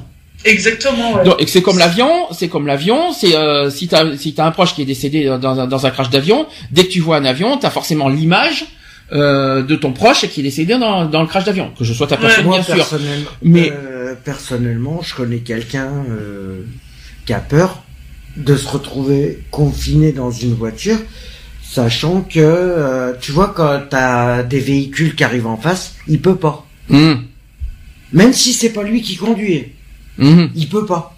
Il a, Bah, moi, il a par l'appréhension, exemple, tu vois, il a l'appréhension qu'il va y avoir un accident direct. Ouais, mais est-ce qu'une Avec- appréhension c'est une phobie? Bah, il a la phobie que les véhicules qui arrivent en face, même s'ils sont pas sur la même voie, automatiquement, il a peur qu'ils lui rentrent dedans. Ah oui, forcément, di- direct quoi. Ouais. D'accord. Que, euh, en fin de compte, ils sont sur la même euh, rangée que, que lui et que D'accord. ça va être le carton euh, Enfin pour Charlotte, en tout- assuré. enfin en tout cas pour Charlotte, elle a bien récla- euh, répondu, elle a dit que l'appréhension c'est pas une phobie pour selon elle. Non, Oui, c'est sûr. Moi, c'est pas une appréhension. Hein. C'est euh, là, une phobie, C'est- vraiment tu l'as vécu. Une appréhension, c'est peut-être que tu l'as vécu aussi, mais euh, comme par exemple un décès dans la un décès dans la famille euh, parce qu'il y a quelqu'un qui, est mort dans un accident de voiture, ou dans un accident d'avion ou je sais pas quoi. hum. Donc on peut pas. par exemple aussi, il y a quelqu'un qui veut pas prendre, qui ne veut plus prendre le train parce que son euh, son proche euh, s'est suicidé, s'est fait happer par un train. Hum, C'est ça. Tu vois? Mm. Moi, par exemple, moi quand, moi, quand j'étais petite aussi, pareil. Bon, maintenant, je le fais moins. Mais euh, tu sais, quand tu vas en voiture et que tu as lavé ta voiture euh, avec le, en station-service avec les rouleaux, il y en a Ouais. qui adorent rester dedans dans les bagnoles. Moi, je ne pouvais pas. Par contre, euh, qu'est-ce que je voulais dire Le, on peut- il c'est- il y a pas de facteur. la- Les psycho, les psys n'ont pas du tout dit comme ça. Mais est-ce qu'on peut parler de phobie directe et de phobie indirecte? Parce que les psys n'ont pas dit ça. hein. C'est moi qui l'invente. Est-ce qu'on peut dire ça? Parce que par rapport à ce qu'on dit, la phobie directe, c'est-à-dire ce qu'on a, c'est par rapport au vécu, et la phobie indirecte, c'est par rapport à une situation euh, de, d'un, Ouais, pense une situation d'un proche et qui, et qui voilà, qui, de, qui, de, Donc qui- en fait, indirectement. si tu veux, alors donc les appréhensions pour toi, tu les mettrais dans les dans les phobies indirectes. Voilà, c'est ça. Hum. C'est-à-dire que l'appréhension, c'est-à-dire sans l'avoir vécu, mais l'appréhension euh, selon par rapport à le fait qu'un proche ou une tierce personne, une, une amie ou tout ça, l'a vécu et que du coup euh, ça a transmis sur, euh, on va dire sur une autre personne qui l'a pas vécu, mais qui a peur parce que de pas vivre, de, de, de le fait de pas vivre ce que sa, son proche a vécu. Je pas si vous voyez ce que je veux dire. Ouais, C'est euh, peur que ça lui arrive aussi. Oui, mais c'est un peu ça. Par exemple, euh, C'est une appréhension qu'elle a peur que ce qui vient de lui arriver à, Je à rassure, la c'est- de quelque chose. euh, Ce que je dis, c'est inventé parce que je, je, je dis, euh, je dis, si on peut dire ça, parce que euh, les psys n'ont pas dit ça, de, ils Je n'ont pas parlé de phobie directe, de phobie indirecte, ça n'existe Non. pas. Mais on peut, pas- on peut évoquer ça Je parce pas. que Oui, c'est possible. Je pense qu'on peut. euh, Je sais pas. Moi personnellement, je sais pas. Par exemple, euh, comme ça on va peut-être répondre à la question, c'est qu'on euh, on parle des facteurs d'apparition d'une phobie et qui sont mal connus. Alors ça tombe très bien. En plus d'une possible composante organique ou génétique ou et génétique, on peut sup- supposer que le plus souvent une origine psychologique, intrapsychique ou et inconsciente et parfois aussi un facteur familial qu'on peut avoir une phobie. Les psychologues cogniti- euh, cognitivistes considèrent la phobie comme un comportement appris et renforcé au cours de la vie du patient la nature de l'objet phobogène en lui-même n'est pas essentielle à la compréhension de l'étiologie de la phobie. On s'intéresse plutôt aux mécanismes cognitifs qui ancrent le patient dans sa phobie. Donc c'est bien ce qu'on dit, on- donc faut l'avoir vécu. Ouais. C'est ce qui a été clairement dit. Euh, après, il peut y a, après, il y a le facteur familial, effectivement. Donc ça peut être effectivement. euh, Ça Ce qu'on vient de dire. euh, ouais. Mais pour moi, pour moi, effectivement, pour euh, une phobie, il faut le vivre. Il faut le vivre. Oui, exact, ouais. ouais. Sinon, sinon, c'est pas logique. Hum, hum. Enfin, ça, ça c'est mon avis personnel. Alors, là, ça tombe très bien. Là, j'ai, j'ai blablabla bla, bla, de choses. J'ai, j'ai dit, euh, avant qu'on fasse la pause, après on passera aux superstitions. Euh, j'ai la liste des phobies. Voilà, ça tombe très bien. Euh, et là, là, là, il y a des mots que ça, ça va peut-être pas forcément vous parler parce que j'ai- je trouve ça tiens, tu rigoles, tiens peut-être, on va voir si tu le sais. Est-ce que tu sais ce que c'est la butophobie, euh, Charlotte? Et là, tu vas, et là, tu vas rire quand je vais te le dire. Pas du tout, en fait, non. c'est la peur de se baigner. Cette phobie est plus une peur de la noyade qu'une peur de l'eau. Bah tu vois, je rigole pas, donc. euh, Non, non, mais mais, non, non, mais ouais, non, ça, ça, ouais, ça, ouais. Ouais, c'est- et ben, c'est ça. t'en as jamais entendu parler? Non, Bah. pas ce terme-là. Eh ben maintenant, j'espère que tu retiens parce que c'est un petit peu ce que t'as. Oui. ben oui, mais moi c'est La peur de la noyade. La peur de Ouais, la ça, profondeur de la noyade. Ouais, c'est ça. C'est pas forcément l'aquaphobie, tu vois, parce que t'as pas la peur de l'eau ou de la matière en fait. Non. Non, c'est- la, le- ouais, la peur de, de noyer, la, la, ouais. Après, euh, qu'est-ce que je peux vous donner? Parce qu'il y en a tellement, sinon dans deux ans on y est encore. Est-ce que je vais peut-être, je vais essayer de vous trouver. euh, tiens, ça, ça, il y en a certains, vous allez rire. Hein. Euh, l'amatophobie. Ça vous parle pas? L'amatophobie, Ouais. Euh, non, ça me dit rien. Vous allez voir, il y, y en a- il y en a certains, vous allez en rire parce que vous allez dire, mais c'est, c'est- ça, vous allez dire, mais ça existe. Ah, mais des fois, tu parles des C'est- phobies qui sont c'est- très cons, hein. C'est, c'est, non mais il y a des trucs que, vraiment, c'est la phobie de, la phobie de la poussière. Il y en a, oui. Mais Ah, ça c'est, c'est les- ceux qui sont maniaques, en fait. c'est, c'est plus que ça. Mais, c'est- mais pour moi c'est pas de la phobie, c'est de la, ma- Euh, c'est, c'est, Si, c'est, c'est la, peur maniaque. que, c'est- que tout soit sale. mais phobie de, la, phobie de la poussière pour moi c'est être maniaque. C'est, c'est le, Ah c'est le, c'est le côté super. Mais ça c'est un toc pour moi. C'est un Euh, toc, ouais. c'est le peut côté toc, euh, euh, le, le fait que ça soit super propre. On en a vu dans, dans, dans des Mhm. reportages de confessions intimes là-dessus. Hein. Oh, oui. Euh, et euh, je peux vous dire Il y a que comme euh, ceux euh, qui n'arrivent pas. Dès qu'il y a de la poussière, ils n'y arrivent pas exemple quoi. pour les amateurs de tuning, ils ont la la peur d'abîmer leur voiture. Tellement qu'ils les équipent, ils ont peur de la moindre erreur. Ils évitent de sortir leur voiture euh, tuning pour éviter de rayer, euh, de même de salir les pneus. C'est hallucinant, j'ai vu ça. Il y a des reportages comme ça, comme Alors, ça qui sont hallucinants. pour Nat qui m'écoute, euh, ce qu'elle a, c'est, euh, on appelle ça l'acluophobie. C'est la peur de l'obscurité et du noir. Non, parce que t'as quand même aussi l'aérophobie, la peur de l'air et du vent. C'est pas du tout la même chose. La peur de l'air et du vent. C'est pas la même chose. Dis-moi, Charlotte, tu serais pas devant ce que je pense Si C'est bien, Charlotte. Merci d'être avec moi. Donc Mais du coup, tu triches, c'est pas bien. aussi. Non, mais non, Et par contre, là, ce Et que c'est j'ai... quoi l'aérophagie? Euh, je t'en prie, euh, dis donc, euh, s'il y en a qui sont à table, je t'en prie. Euh, Mais par- attends, j'ai une question. L'aérophobie, donc t'as peur de l'air et du vent. Est-ce que t'as peur aussi des paix Ah bah tiens, l'aérophagie, oui. Non, l'aérophagie, c'est pas la peur. L'aérophobie. L'aérophobie, Phobie. Ben, si t'as peur du roux, oui, mais c'est pas de l'air, euh, l'aérophobie. Euh, Si, qu'est-ce que je raconte moi C'est pas, c'est pas les roues, euh, c'est pas les roues et le, euh, c'est pas les roues et l'épée quand même. Faut peut-être pas exagérer. faut peut-être pas exagérer non plus. Euh, non, mais par contre, il y a des trucs impré- impressionnants. Tiens, euh, par exemple, je pense que je pense que Charlotte qui triche doit le voir. Euh, l'aérodrophobie, euh, l'aérodromophobie, c'est pour toi ça. La peur de l'avion, ouais. La peur de l'avion et des voyages en avion. Oui. Bah ça va, c'est bon, on va pas en faire un plat. Mais écoute, hein, c'est pour toi. Et moi, ce que j'ai, c'est juste au-dessus. Moi, c'est l'acro, l'acmophobie et euh, l'ecmophobie. C'est la peur des aiguilles et des objets pointus, comme les ciseaux, les couteaux, les seringues, par exemple.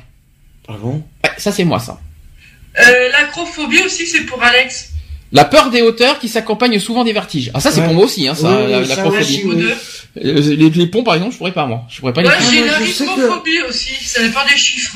Les ah non mais ça c'est c'est ridicule alors justement euh, non mais ça non mais c'est ah, là on va on va on va on va euh, on, va tomber Ah, sur des attends, y a trucs un truc aussi, que- par contre, là, et c'est vrai, euh, tout à l'heure, tu disais, euh, Alex, que t'as peur de l'échec, c'est ça? Ouais. T'en as Bah, je te laisse le lire parce que j'y arriverai pas. L'atichiphobie. Lat- Alors je sais pas si atichiphobie ou atichiphobie, mais ça s'écrit comme ça. ATY. Euh, tikiphobie. euh, en tout cas, c'est la peur de l'échec. C'est Effectivement. la tikiphobie. Ça, par contre, c'est là où c'est dur aussi et pas loin, c'est l'autophobie, c'est la peur de la solitude.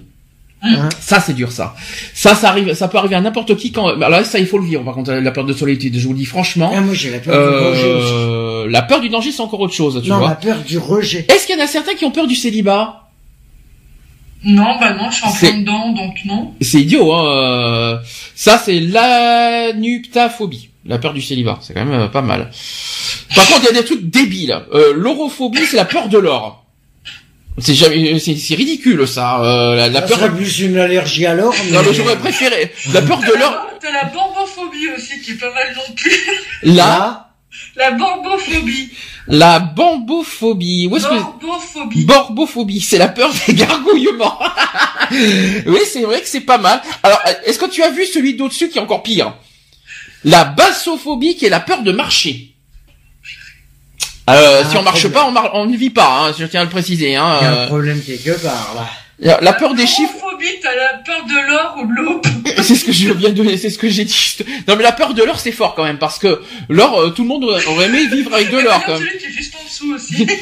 C'est, c'est, c'est quand même. On en rigole, on en rigole, mais, Ah je- non, mais on en rigole. hein. On en rigole parce que c'est vrai que ça paraît stupide. Par la contre, je- stupide. mais on en rigole, mais, mais il faut pas le vivre parce que ceux qui ont vraiment une vraie phobie, Non. ça doit être dur pour eux. Je, je- on en rigole et, je- et on s'excuse au passage pour ceux qui le vivent parce que c'est, ça doit être dur, dur pour les pour les personnes. Mais ça paraît tellement surréaliste, quoi. C'est, il y a certaines, certaines phobies qui paraissent tellement surréalistes que c'est, c'est quand même hallucinant, quoi. Est-ce que, est-ce que prennent... toi, euh, Sandy, juste une question, est-ce que toi, tu serais pas, enfin, cardiophobe? Cardiophobe La peur euh, d'un développement d'une maladie cardiovasculaire? Non. Non. non, non, non, pas du tout, euh, non. Par contre, ce qui m'est arrivé récemment, la- c'était la cancérophobie, c'est ce qui m'est arrivé pendant un mois. Ça, c'est sûr. Mm. Tiens, ça, c'est, tu m'en as parlé tout à l'heure, tout à l'heure, euh, chère euh, Charlotte, la carpophobie, qui est la peur Oui, des la fruits. peur des fruits. Euh, oui, et d'ailleurs, j'avais vu une émission, bah, c'était assez mon choix, et justement, elle parlait de ça, des phobies. Il y avait une nana, elle avait peur des bananes. Oui, c'est ça, on l'a vu, on l'a vu nous aussi. Parce qu'on se On l'a beaucoup- vu, oui. parce que nous, on se base justement beaucoup sur des, sur des émissions comme ça, comme tu le vois, c'est mon choix, tu l'as vu ça aussi, euh, Ouais, ouais, ouais, je tu l'as vu une l'émission sur les, t'as vu récemment sur l'émission des superstitions? Non, je l'ai pas vu. Alors, on, Ah, on tu en parlera tout à l'heure, parce qu'elle était pas mal. Alors, la, l'automisophobie, c'est la peur d'être sale et de sentir mauvais. Oui, bah, écoute. Voilà, hein. ça par contre, ça peut, ça peut arriver à n'importe qui. Le- le- Et il n'y a c'est- pas la phobie d'être intelligent? Ah bah dis donc, je, je, je plains. hein. Par contre, le, ça, ça peut arriver à n'importe qui, c'est vrai. Euh, qui est la peur d'être oublié ou ignoré. Ouais. Ça, c'est dur, ça. Il y en a une aussi, et maintenant, de- depuis, il y a quelques, il y a quoi, il y a à peu près un an ou deux, je crois, euh, et maintenant, il y en a beaucoup qui l'ont, c'est la coulrophobie, c'est la peur des clowns. Oui, j'ai vu. Oui. Ah bah oui, notamment Oui, les enfants. Hein. Ouais, Les, enfants, euh, ça arrive dès, dès que t'es enfant. comment la chérophobie, la peur de la gaieté, on fait, on, a- on doit prendre comment là si euh... La, la géphirophobie qui est le peur, la peur des pompes. Ça, c'était pour moi, ça. La- la- par contre, il y a justement la peur de vieillir, la gyrascophobie. Donc, personne. La, Euh. du super de mourir, personne. Et la peur de vieillir Non plus Non, mais non, ça va. Ça va Euh, Il y en a qui marquent, euh, qui marquent euh, pourquoi donc euh, pourquoi elle, a peur du noir? Parce qu'elle était enfermée dans le noir étant petite. Alors là, c'est pas plutôt de la claustro Si. Plutôt. C'est de la Et claustrophobie. c'est pas, Ça pas peut plus- être les deux. Hein. Ça peut être les deux, parce que quand tu Ouais. dis enfermé dans le noir, c'est plus euh, euh, enfermé, tu me dis en plus. hein, donc, Ouais, la euh, claustrophobie ça peut plus être les deux. Mm. c'est euh, c'est euh, elle a des ouais le problème le fait d'être enfermée dans le noir comme ça elle a des euh, elle a des- euh, développé la claustrophobie en plus je, je rigole parce que je vais faire un petit hommage à, à Charlotte. Quoi? La climacophobie. Lit. C'est- Peur des escaliers, non? La peur d'utiliser des escaliers, surtout de les descendre. un petit hommage, Charlotte, pour toi, s'il te plaît, euh, en, en passage. Bah écoute. Non, ça Non, t'a- non, non, y a pas la peur d'être intelligent aussi, peur je de l'intelligence. il y a pas la peur de, Sauf de que c'est- l'intelligence Sauf que c'est pas de la peur quand même. hein. Par contre, ça, je l'ai, ça. de quoi? Je l'ai, ça. euh, je déteste, je déteste, je peux même pas les voir en peinture. La dentophobie qui est la peur du dentiste. Ah bah, ah ça je supporte pas Ah ça je peux pas. Je peux même pas les voir en peinture. C'est même pas la peine. Alors ça il faut le ça il faut le vivre pour le pour le pour le dire parce que les dentistes ce sont sont- ce sont pas des des, des soigneurs mais des arracheurs. Euh, ils te ils te traitent, ils te traitent comme des hein euh, les, les fraiseurs. Euh, c'est même pas la peine de rêver. euh. Et alors, et l'ecclésiophobie T'as dit? L'ecclésiophobie. c'est la peur des églises. C'est fort quand même. hein. Ça ça l'ecclésiophobie l'ecclésio l'ecclésiophobie qui est la peur des églises. Tiens, au fait Bah, Charlotte, bah t'en as parlé tout à l'heure. Juste en dessous, l'hémétophobie qui est la peur de vomir. Oui. ouais. T'as vu, euh, ça existe effectivement. Hein, euh, c'est quand même fort. Euh, par contre, qui est la peur de rougir en public, euh, Ah si, je connais quelqu'un qui a ça. c'est plutôt étonnant. Ouais. Mais euh, ouais, elle, euh, elle, euh, elle, euh, du coup, euh, le fait d'avoir peur de rougir en public, ça va aussi, bah, euh, donc du coup, elle se renferme, elle veut plus aller voir, euh, enfin, de rencontrer des gens et tout ça, donc euh, voilà, donc après, elle devient euh, la- un peu agoraphobe. Alors, euh, ça par contre, c'est pour moi la glossophobie, qui est la peur de parler en public. Mm. Ouais. Ça, je l'ai. Alors, pas en public, je répète, pas à la radio, parce qu'à la radio, c'est différent. Mhm. Mais dans des, euh, par exemple, dans des, euh, Dans des euh, conférences, dans des dans conférences, des- tout ça, oui, voilà. j'y arrive pas. C'est même pas la peine. la gymnophobie aussi. qui est la peur de la nudité euh, chez les hommes ou chez les femmes. non, je rigole. Euh, juste en dessous, c'est fort quand même. C'est quand même pas mal. L'alitophobie, qui est la peur d'avoir mauvaise haleine. Bon, ok, hein, euh, pourquoi pas. hein. Ça aussi, euh, ça aussi, j'en ai aussi, parce que moi j'en ai 4 milliards de, de phobies. Hein, j'en ai pas de chance, j'ai pas La de chance. de hein. de La fumiphobie, qui est la peur de la fumée et le tabac, par exemple. Ouais. Et ça, je l'ai, tu le sais bien. Ouais, bah oui, je sais. Et tu as Euh, aussi l'hématophobie, la peur du contact et de la vue du sang. Oui, ça, alors ça c'est fréquent. Ça, ça. J'en ai vu, euh, je- ça j'en ai connu. Moi, je peux pas. Ça c'est dur, ça, euh, la, la vue du sang. Et hein. la catagélophobie, non, tu l'as pas non plus La, La quoi t'as dit? La quoi la catatophobie. La- Alors après, alors la quoi t'as dit Excuse-moi? La catagélophobie. La caté, la ah non la caté, là oui, je l'ai. La catapédaphobie. Je crois que t'as oublié. C'est pas géda, c'est pédaphobie.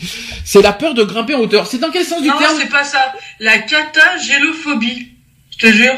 En cas. Ah en cas, euh, tu me, tu me, tu, tu me l'aurais dit plus tôt. C'est ah oui, et ça peut arriver. Non non mais tu vois, euh, ça par contre, ça- c'est ridicule. la peur du ridicule. Ben oui, mais ça ça existe malheureusement. Et celui qui est juste au-dessus, C'est la peur de soi. Alors juste au-dessus, attention, ça c'est, ça peut être chez les lesbiennes par exemple, ça, je tiens à le dire. Cher, cher, euh, je, je, je, je dédie ça à toutes les lesbiennes qui m'écoutent. Euh, liti, euh, euh, euh, c'est de l'humour, hein, je précise. Hein. Euh, c'est la peur de voir des pénis en érection. Donc ça c'est fort. C'est quand même pas mal. C'est, c'est le cas, euh, Charlotte? Non. Et T'as- la laxophobie aussi. la, la quoi? La laxophobie. L'axophobique, c'est la peur d'être pris de... Oh, tiens, je pense, on en a, j'en ai parlé tout à l'heure, tout à l'heure. C'est la peur d'être pris de diarrhée impérieuse en public, en dehors de chez soi, et de ne pas arriver à se retenir. Ah bah, Euh, oui, non, mais ça, ça, arriver, par hein. contre, Euh, ça, par contre, dire je mettrais pas ça sur le compte d'une phobie. Par contre, c'est vrai. Ça peut être une maladie. C'est vrai, malheureusement. Et, par contre, et pourtant, c'est vrai. euh, c'est malheureusement réel. Je ne peux pas dire qui, quoi, dans où. Hein, Autant garder pour nous. Mais euh, par contre, c'est vrai. Mm. Ça, ça c'est vrai. Euh, je moi, personnellement, je j'ai déjà vu. Par contre, il y a des y a des trucs à la con. hein, je vous dis franchement, j'en ai jamais j'en ai jamais vu de à la con. Euh, la leucozélophobie, c'est la peur de la page blanche. C'est ridicule. Oui, Euh, les écrivains, si. le mascaphobie, c'est la peur des masques. Euh, la musicophobie, c'est la peur de la musique. C'est la première fois que je vois ça. Euh, la La myco- sélénophobie, c'est peur de la lune. Ah, ça peut arriver, Ah, ça. ça peut arriver. La peur d'être un loup-garou, peut-être, à la limite, c'est ça Je sais pas. euh, L'histoire de la pleine lune, la- comme ça, ouais. La peur des champignons avec les mycophobies. Pourquoi pas euh, Il y a pas la phobie des crêpes Et la peur d'être malade, la peur d'être malade, ça existe, c'est la nosophobie, ça, ça arrive. La peur de la la foule, la peur de la foule. Alors moi, on parle beaucoup d'acoraphobie, mais c'est l'oclophobie pour être exact. Il y a pas la peur des crêpes De faire des crêpes? La Non peur plus. de faire des crêpes. Elle est, elle est quoi, Bah, si. celle-là Est-ce que, Laurent, j'ai une question. Est-ce que vous avez la pogonophobie? Ah, alors là, t'es un peu plus loin. Donc euh, la pogo, t'as dit pogonophobie. Là, c'est l'aversion envers les barbes, la phobie des poils, du menton et des joues. Ça- oui, ça existe. Hein. Mm. Il y en a plein qui n'aiment pas ça. Il y en a plein, plein de, de- même qui n'aiment pas des poils du tout. Hein. Hein Euh, ça, ça c'est, ça c'est des, des gens qui. La théophobie, c'est peur de Dieu hein, aussi. Donc, euh, Ah mais ça c'est con quand même. C'est parce que la peur de Dieu, euh, je savais pas que Dieu. Moi, je sais que, moi, je sais que personnellement, je peux pas rentrer dans une église. Et autre chose que je peux que je peux dire qui n'est pas drôle, c'est euh, la scopophobie, c'est la peur du regard des autres. Hein Mm. Ça c'est très dur ça aussi. Et il y en a une autre aussi qui est pas drôle non plus, c'est la taphophobie, c'est peur des tombes ou d'être enterré vivant. Ça existe aussi effectivement. Mm. Par contre ça c'est fort quand même. La téléphonophobie, c'est la peur de répondre au téléphone. Ah, hein. C'est oui, mais c'est ridicule. C'est- c'est- c'est- Ben non, il y en a qui répondent, hein. Il y en a qui ont peur de... Alors ne ne voyez pas ça comme euh, comme euh, comme euh, comme, comme n'importe un- quoi. Une attaque. La ou- tripophobie qui est la peur des trous. la tripophobie qui est la peur des trous. Des trous. Je ne sais pas dans quel sens du terme on doit prononcer ça, surtout quand j'entends tripophobie. Euh, je suis très inquiet d'entendre ça, donc euh, c'est c'est quand même fort. Et Euh, alors en bas, après, tu as les phobies animales. Alors, est-ce que euh, tu as l'alectro- alectorophobie je- dans, dans, dans deux, dans deux ans, c'est pas alextrophobie, hein, je te rassure, hein, c'est Alec, hein. c'est pas Non, ça serait plutôt Alextrofolie. Non mais c'est pas un X, c'est c'est c'est pas un X, c'est un K. Je te rassure, c'est un alectro, euh, c'est l'alectorophobie, c'est la peur des poulets. Oui, bah oui, si ça existe, Oui. Bien ceux sûr. qui sont végétariens. bien sûr. Ah, non, j'ai une collègue à moi, là, elle a peur des... non des mais la peur, même des, la peur des poulets vivants, dès que tu vois des, dès que Ah, tu vois des poulets, moi, ça je existe. Ah ouais, ouais, sérieux, si si.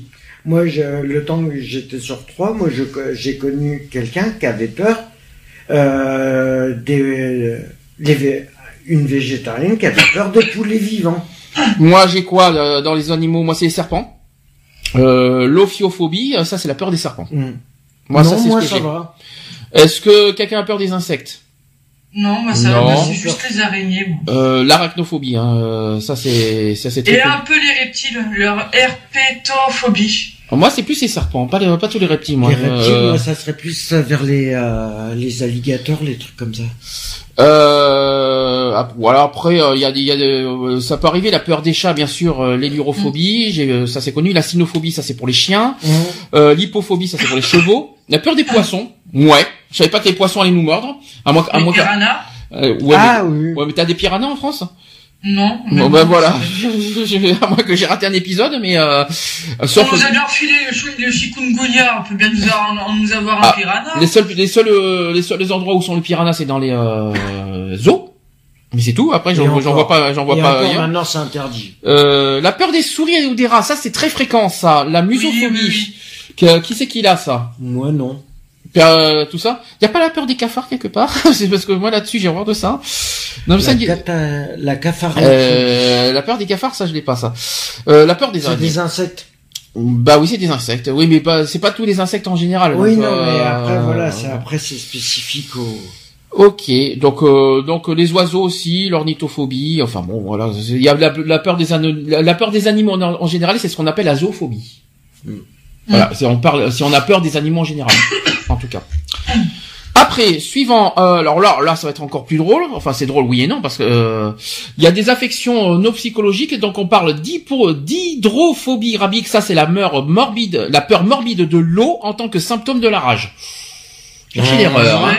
Ça, c'est fort quand même. Hein. Si vous avez tout compris, tapez 6. Attention, c'est pas fini. L'osmophobie, c'est l'hypersensibilité aux odeurs. Pardon. Voilà, donc ne pétez pas s'il vous plaît si vous avez un osmophobie, un osmophobe à côté de vous. Euh... ça c'est dit, ça, franchement, c'est la peur de la stupidité, ils ont pas. Donc, euh, si, Non. donc, euh, donc en gros, elle a pas intérêt de péter soi-même parce que si elle, est- si elle est hypersensible aux odeurs, elle va vite mettre un parfum. Non mais euh, qu'elle prévoie un parfum pour le, Hmm parce que euh, Euh, d'ailleurs, moi, j'ai une collègue de Ah. boulot qui est... hypersensible- L'odeur, elle, euh, est hypersensible à ça. ah, Bon, elle est hypersensible aux odeurs. Mais il y en a plein, hein, surtout chez les femmes. Hein. Ah, les mais femmes, ah ouais, c'est c'est, euh, surtout chez les femmes ça là-dessus. une hein. de Euh, boulot, ouais. Les femmes sont très très difficiles là-dessus. Et pourquoi? Alors, est-ce que ça, est-ce que ça aussi, ça peut pas être de la paranoïa, ça? Ça peut l'être. Ça, ça peut peut- l'être, ouais. Parce que d'être d'être euh, hyper, euh, je ne dis pas que l'odeur est agréable, bien sûr, je le sais très bien, notamment les transpirations, etc., tout ça. Ah. Maintenant, Non, mais pour elle, à chaque fois qu'elle rentre dans dans un lieu, euh, tout de suite, elle, euh, elle a l'odeur qui est... Même si ça sent bon, si ça sent l'eau de javel, tu vois, un truc comme ça, pour elle, il va y avoir une mauvaise odeur. d'accord. Alors les deux autres, par contre, ça existe vraiment. Ça c'est terrible. La phonophobie qui est l'hypersensibilité au son. Hum. Quand c'est trop fort, je n'en peux. Par exemple, dans les boîtes de Ah, nuit, ça, moi je pourrais oui. pas. Ouais. Euh, ça c'est pas possible. Dans les boîtes de nuit, moi c'est impossible. aussi dans l'oreille. Ah, Voilà, ça, c'est ça c'est vraiment impossible. Et ce que j'ai aussi, ça ça peut m'arriver, c'est la photophobie, c'est l'hypersensibilité à la lumière, notamment le- la lumière du soleil. Hum. Euh, ça c'est voilà, ça ça ça existe, euh, ça existe. Mais ça c'est pas forcément de la phobie, c'est plus de l'hypersensibilité. Ouais. Donc euh, ceux qui sont hyper, euh, voilà, qui qui sont trop trop. euh, mais ça pour moi c'est plus paranoïaque que, que, phobique Mhm. Pour moi. Je sais pas comment vous, euh, Après, je sais pas. je sais pas comment vous en- ce que vous en pensez, mais c'est assez particulier. Là par contre, souhaite-moi bonne chance, euh, Charlotte, pour le suivant. Vas-y. Tu veux le faire toi-même? Oh mon dieu. euh, Tu le fais ou je le fais le suivant? Non. Il y a des superstitions, euh, on, va, on va, on en parlera tout à l'heure, mais il y a des, des gens qui ont peur des chiffres, notamment le vendredi Mhm. 13. Souhaite-moi bon courage. La paraskevidéki... paraskevidécatriaphobie. Triaphobie. Ça, c'est la peur du vendredi 13. Tu veux le faire, le, le, nombre sou- le- le 666 Alors, hexacosio, hexa, hexaphobie. C'est dur à dire. hein. Hexacosio oi, execona, conta, hexaphobie. Ça, c'est la peur du nombre soixante- 666. Je laisserai faire pour la peur du nombre 13. Hein. est- non mais qui est beaucoup plus qui est quand même plus facile déjà la, la tétraphobie c'est la peur du chiffre 4 ça existe et la peur du nombre 13 ça c'est la triscaï euh, décaphobie voilà là le sujet suivant ça va être un peu plus notre domaine c'est on va, on va arriver sur les discriminations euh, en précision on on va on va préciser plein de choses là-dessus sachant que ce que je vais vous dire c'est pas forcément de la peur mais c'est aussi du rejet Hum. on est d'accord. Est-ce que, s'il te plaît, par contre, euh, Charlotte, ne réponds pas parce que tu as les réponses et c'est dommage que tu les aies, que aies les réponses Oui, parce que j'aurais préféré euh, que tu les aies pas. Euh, l'acéphobie, alors, est-ce que ça, est-ce que tu, c'est peut-être la première fois que vous en entendez parler, euh, et ça existe. Deux. L'acéphobie. Même pas. On est sur les discriminations, hein, attention, hein, Je sais toi. même pas ce que c'est. L'acéphobie, c'est la peur ou rejet des asexuels. Alors, c'est, ça paraît bizarre, mais ça existe. Et c'est une orientation sexuelle, la, la Mhm. sexualité, je tiens à le repréciser. Oui, non, mais oui. L'androphobie, tiens, on a parlé tout à l'heure de ça. Qui c'est qui me l'a dit ça? L'androphobie. L'androphobie, euh, Charlotte, tu, euh, tu, La tu des pas. hommes. La peur des hommes, exactement. C'est qui qui m'en a parlé tout à l'heure pour les lesbiennes et qui n'aiment pas les hommes Non, c'était euh, pour rigoler, c'était euh, Et- Nathalie. et, ma- et maintenant, Ouais, et maintenant, là, et maintenant, voilà. et maintenant, tu, est-ce que maintenant tu sais que ça existe? Oui, bah oui. Donc l'androphobie, donc euh, andros ça c'est fort de fruits. Euh, donc euh, pour euh, pour euh, Nathalie, donc on a répondu à sa question, la peur de l'homme existe. Il y a Alors, la aussi peur- la peur des femmes pour les hommes? Bien Oui. sûr. Euh, alors, là, sachant que la Moi, peur, j'aurais pas dit une peur, j'aurais dit un rejet plutôt. non, c'est la peur. C'est pas, c'est pas un rejet. Quoique, ça peut arriver. Ça peut être un rejet aussi. Hein. La biphobie, la peur ou rejet des personnes bisexuelles, forcément. Il y en a, ouais. Donc ça, on en a beaucoup parlé. La christianophobie, qui est la peur ou rejet de la religion des chrétiens. Est-ce qu'on peut être, est-ce qu'on peut être, euh, est-ce qu'on peut, re- bah oui, euh, ah, mais moi, de toute façon, je suis non croyant et non pratiquant. Alors, Mais est-ce que, est-ce que pour autant tu rejettes la religion? Ah non, Bon, pas bah, du donc c'est- donc t'as du pas de- moment qu'on vient pas m'embêter avec, euh, voilà. La gérontophobie, qui est la peur ou le rejet des personnes âgées. Ça, c'est moche. Hum, Ça, c'est vraiment contre, dégueulasse. ça, ouais. Ça, c'est quelque chose. D'ailleurs, la semaine prochaine, on va, on va en parler des seniors LGBT parce qu'il y a beaucoup Mm. de choses là-dessus. Oui, euh, je trouve que les personnes âgées. euh, mais là, il y a double- seniors LGBT, Oui, mais seniors LGBT, pourquoi Pas La semaine prochaine, Oui. parce qu'il y aura double discrimination là-dedans. Hum. Euh, donc, on aura largement le Oui, loisir d'en parler ouais, la mais semaine des prochaine. seniors en général, parce que Bien sûr, c'est bien vrai sûr. que quand On a déjà les fait. familles qui rejettent euh, Mais on l'a déjà fait les seniors en général, hein, donc. euh, mais là, les seniors, euh, l'hétérophobie, est-ce que vous savez que ça existait? Est-ce qu'on peut Est-ce que- est-ce qu'un homosexuel peut rejeter un hétérosexuel euh, Est-ce que vous en avez déjà vu? Oui. Personnellement, Charlotte, est-ce que tu en as déjà vu dans tes entourages? De, excuse-moi. Un homosexuel qui rejette un hétérosexuel, est-ce que tu en as déjà vu? Non. Et pourtant, ça existe, j'en ai j'en ai déjà vu à Ouais, Paris. il y en a si, oui. Euh, ça, c'est Il y en terrible. a, oui. J'en ai connu, j'en ai connu un particulièrement, euh, même à Bordeaux, qui euh, qui ne peut pas en voir emporter les hétéros. C'est plus, c'est rare, hein, mais ça existe. C'est, ouais, c'est rare, ouais.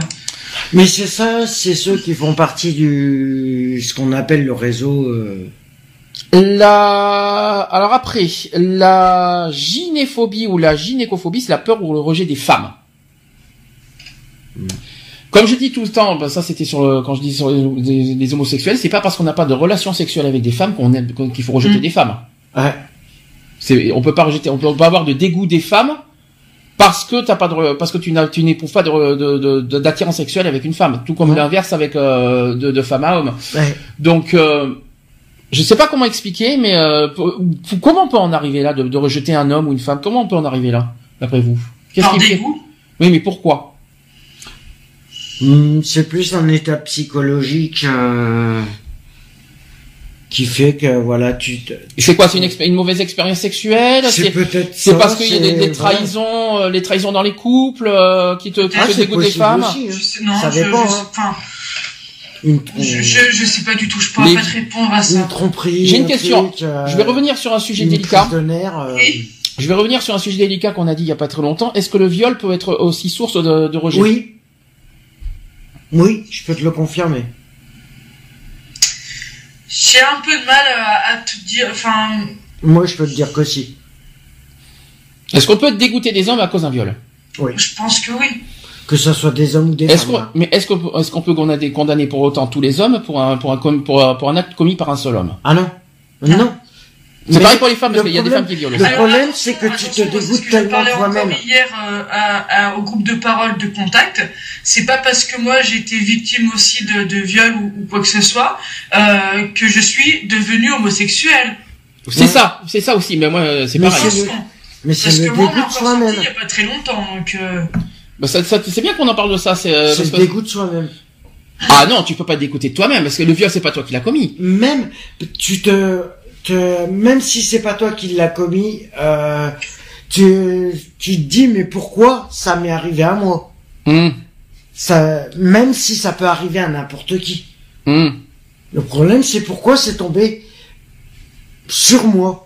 Vous avez vu comme euh, comme d'un- comme euh, d'un coup, vous voyez, là on ne rigole plus, hein, parce que là, un- là on est sur des sujets vraiment très très difficiles là. Euh, l'isla- L'islamophobie, qui est en- on est en plein dedans en ce moment d'ailleurs. ouais, ouais. Euh, on est en plein, on nage en plein dedans en ce moment. Il y a eu des problèmes encore à Marseille il y a pas Mmh, longtemps. Je vais en parler dans les actus. dégénéré, oui, je- j'ai vu un article euh, J'en parle, cette semaine. j'en parlerai euh, dans les actus politiques. Ça, c'est la peur ou le rejet de la religion des musulmans. C'est terrible ça. Mm. La lesbophobie, vous savez ce que c'est? C'est la peur ou le Oui. rejet des lesbiennes. La pédophobie et la pédiophobie. La peur ou le rejet des enfants. Mm. C'est ça, c'est moche. C'est horrible ça. Comment on peut avoir peur des enfants? Parce qu'ils C'est ce crient. qui, c'est ce qui amène forcément à l'abandon. Mais pour- comment on Au peut bout en d'un arriver? moment, la conclusion, euh, bah, c'est que c'est une peur qui peut arriver quand tu vois, tu touches le fond. Au Hum. niveau financier, que tu, tu sais pas comment faire pour survenir. Et de faire passer son enfant avant soi aussi. Un que je n'ai pas dit, c'est la judéophobie, ça c'est la peur ou le rejet de la religion des juifs. Hmm. La psychophobie, ça c'est la peur ou le rejet des maladies mentales. Alors ça, c'est ridicule. Euh, comme si qu'on était responsable de ce qui euh, des, malades, des maladies. Hmm. Euh, moi, je trouve ça ign- ignoble, notamment au niveau des handicapés. Ah, Euh, ça, c'est quelque chose que je, ça, c'est quelque chose que je suis méchant Ah, là-dessus. Euh, là, je, je suis très méchant quand je vois des gens qui rigolent sur les handicapés, qui les rejettent, qui les excluent, qui- etc. J'en, suis malade. Ça me, ça me, ça me fout hors de moi. Ça, ça, ça, c'est, Ah, c'est que- c'est pour ça que dans les transports en commun, quand on était sur Bordeaux, il y a, il y a beaucoup de choses que les gens pensent tout bas, Hmm. que moi, je me, dans les transports en commun, je me gênais pas de dire. Hmm. Ça plaisait, c'est bien, ça plaît pas, ben c'est pareil. Rendez-vous, rendez-vous compte que, ce que tout ce qu'on est en train de dire, ça existe. Eh. Imaginez Non, que mais ça existe. Tout est un... Ça existe et c'est terrible, quoi. C'est hallucinant comment on peut. Alors la technophobie, ça, par contre, euh, bof, hein, ça c'est la peur ou le rejet des, euh, du progrès scientifique. Ouais. Bon, ça sans plus. La transphobie, la peur ou le rejet des personnes transidentitaires, je tiens à préciser, Mhm. je, vais, je vais annoncer quelque chose d'officiel tout à l'heure au niveau associatif à ce sujet, euh, notamment pour la marche de Paris. Ah. J'aurais quelque chose à dire là-dessus parce que je trouve que de plus en plus les trans se sont rejetés euh, et maltraités. Moi, je trouve ça euh, Ouais, non, là, ça a là-dessus, on a été Là, très il clair et depuis depuis Avignon, le message est très bien entendu. de toute Là, il façon. va falloir. euh, La xénophobie. On entend beaucoup parler, mais est-ce que vous savez ce que ça veut, euh, la signification exacte de la xénophobie Non. Ça, c'est la peur ou le rejet des étrangers, en général. Donc ça, c'est du racisme. Si vous préférez. Tout Mhm. comme d'ailleurs la négrophobie, euh, Ouais. ça c'est sur, ça c'est contre les personnes de, de couleur noire, Mhm. tout simplement. Euh, L'anti-américanisme, ça ce sont les anti, euh, voilà, l'europhobie, l'américanophobie, la francophobie. Ah oui, il y a des gens qui sont contre les Français, hein, je tiens, le- ça existe. Hein. Donc voilà quoi. Euh... Qu'est-ce que vous en pensez tout ça? Parce qu'après pour le Et reste, la peur de l'être humain, il existe ou pas? Oui, je pense que ça doit exister, mais euh... tiens, l'hydrophobie, la sensibilité à l'eau. Est-ce que par, euh, avant de, de parler du reste, est-ce que vous avez quelque chose à dire sur les discriminations, des petits, euh, des petits conseils, des Bah, est-ce petits, que là, euh, t'as des réactions par oui. rapport à... Oui, euh, est-ce que sur le chat ça réagit, euh, Charlotte, tu sais pas? Pas trop. Euh, alors Nat, elle m'a, elle m'a dit un truc, on parlait tout à l'heure des piranhas. Oui. Et ben, elle me dit que s'il y en a en, en Indre-et-Loire, à Tours, un chien s'est fait bouffer dans la Loire. Il y a des piranhas en France. Par un piranha. Il y a, il y a des piranhas en France, mais je l'apprends. Ah, dis donc, c'est que, euh, alors c'est des piranhas qui ont été importés parce que c'est pas Ouais, possible. euh, que- sinon, il y en a, il y en a pas, ouais. Et euh, moi, par contre, alors, par rapport aux discriminations, moi, c'est un coup de gueule. Moi, ça m'est arrivé ce matin. oui. Euh, j'étais en train de faire le marché, donc euh, j'étais avec, euh, parce que je marche toujours avec une, avec une béquille. Mhm. Et euh, il y a euh, un gros, euh, deux personnes âgées qui étaient derrière moi, enfin qui me passent devant euh, pour faire la queue. Oui. Et le, le groupe de personnes âgées euh, me, me, me passe me passe devant en fait, Ouais. me pousse légèrement. Ah, tu ça c'est, me ça c'est passe souvent devant. ça. Et Et, à un après, moment donné, donc euh, je, lui, je lui demandais gentiment euh, pourquoi et tout ça. Elle me dit ah mais euh, donc euh, je dis bah écoutez je, je fais euh, je fais la queue comme tout le monde. Euh, ah mais je croyais que vous attendiez quelqu'un.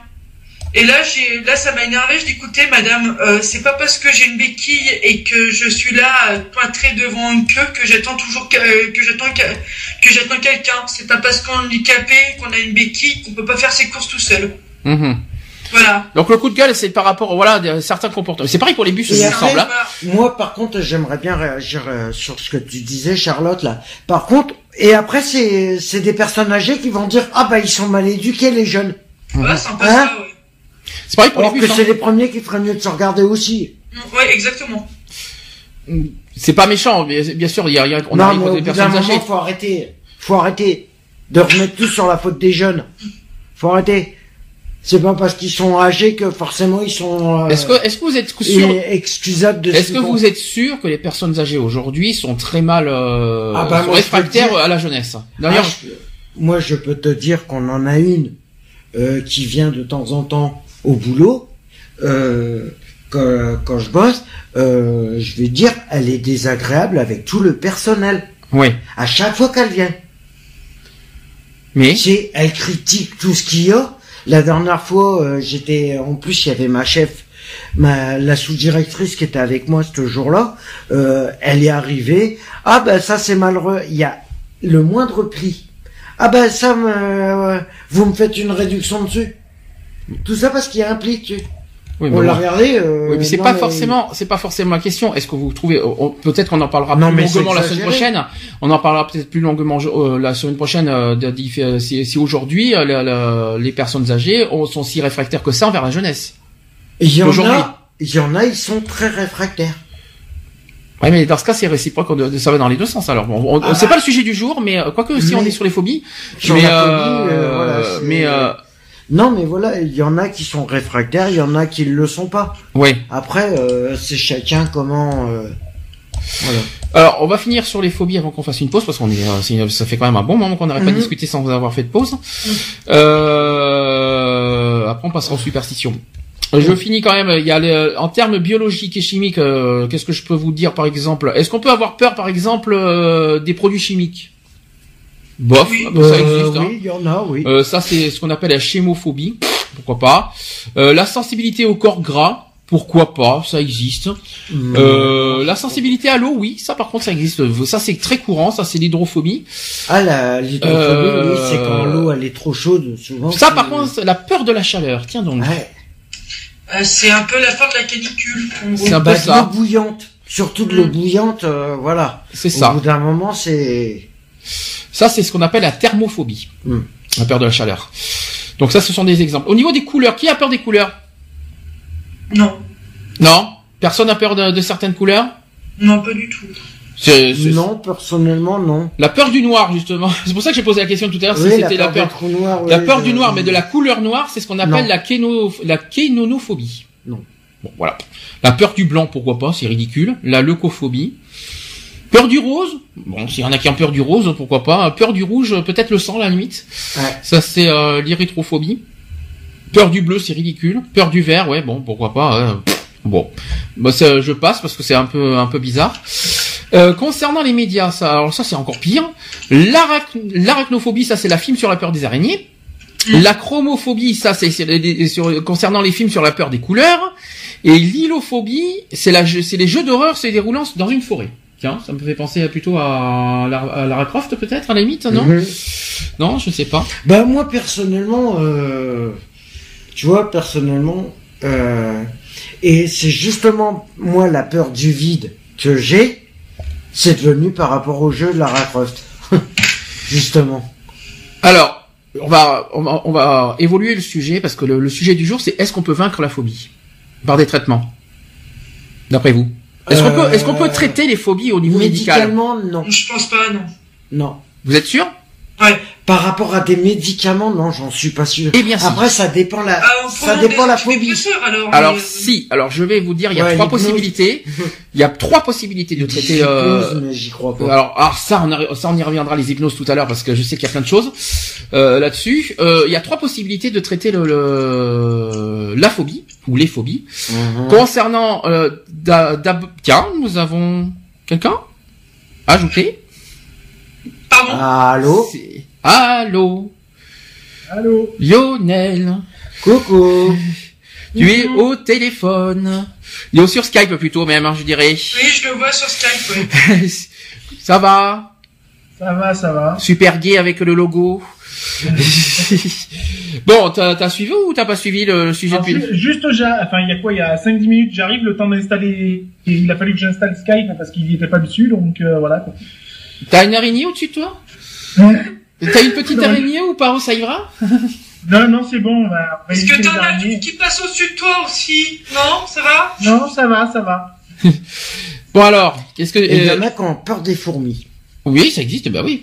La peur des fourmis. Qu'est-ce que tu venais mais- dire, Lionel? Est-ce que tu veux, tu veux peut-être réagir ou non? Non, non, je, euh, vu que j'interviens un petit peu sur, enfin, j'interviens, euh, j'arrive sur les, sur les, Sur les les ondes. Oui.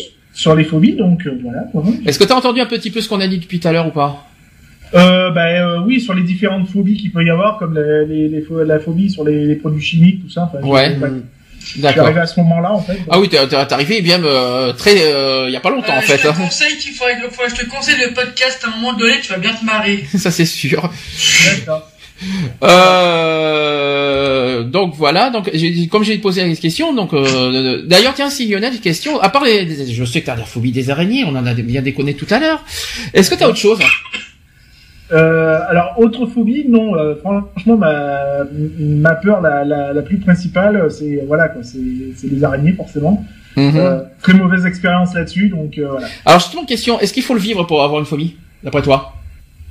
Euh, bah, moi personnellement, oui, puisque Voilà. je l'ai vécu, donc. euh, Non, parce que il y en a Euh, certains qui oui. sont. Non, je te dis ça parce qu'il y, a- il y a certains qui ont des phobies, mais qui n'ont qui ne vivent pas en fait. Ils, ils, le vivent par rapport à des tierces, euh, par rapport aux tierces personnes qui l'ont vécu en fait. Donc c'est un peu, euh, c'est un peu compliqué. hein. Alors, il y en a qui arrivent à transmettre leur, leur phobie. C'est ça. Euh, Il y en a qui arrivent à transmettre leur phobie, alors euh, forcément, c'est pas fait pour arranger la personne euh, d'à côté, quoi. Mm. Et la maniaquerie en fait partie. Là, La maniaquerie est une phobie. la maniaquerie est une phobie. C'est donc la, le, c'est Bah donc oui, le- la- parce qu'elle l'a C'est transmis. plus un toc. Rappelle-toi, euh, rappelle-toi de l'é- de l'émission de C'est mon choix, de, qui, c'est comme le vouvoiement. Oh punaise, ça c'est encore autre chose ça. C'est pas comme sujet. vouvoiement, voilà. Tu l'as pas vu cette la semaine dernière apparemment. T'as Ah pas vu non, les mais- émissions. Regarde non, euh, non.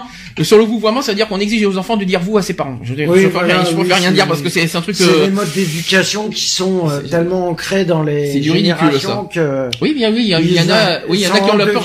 Ah oui, c'est vrai, il y a la peur du tutoiement. C'est vrai que c'est la nouveauté ça aussi.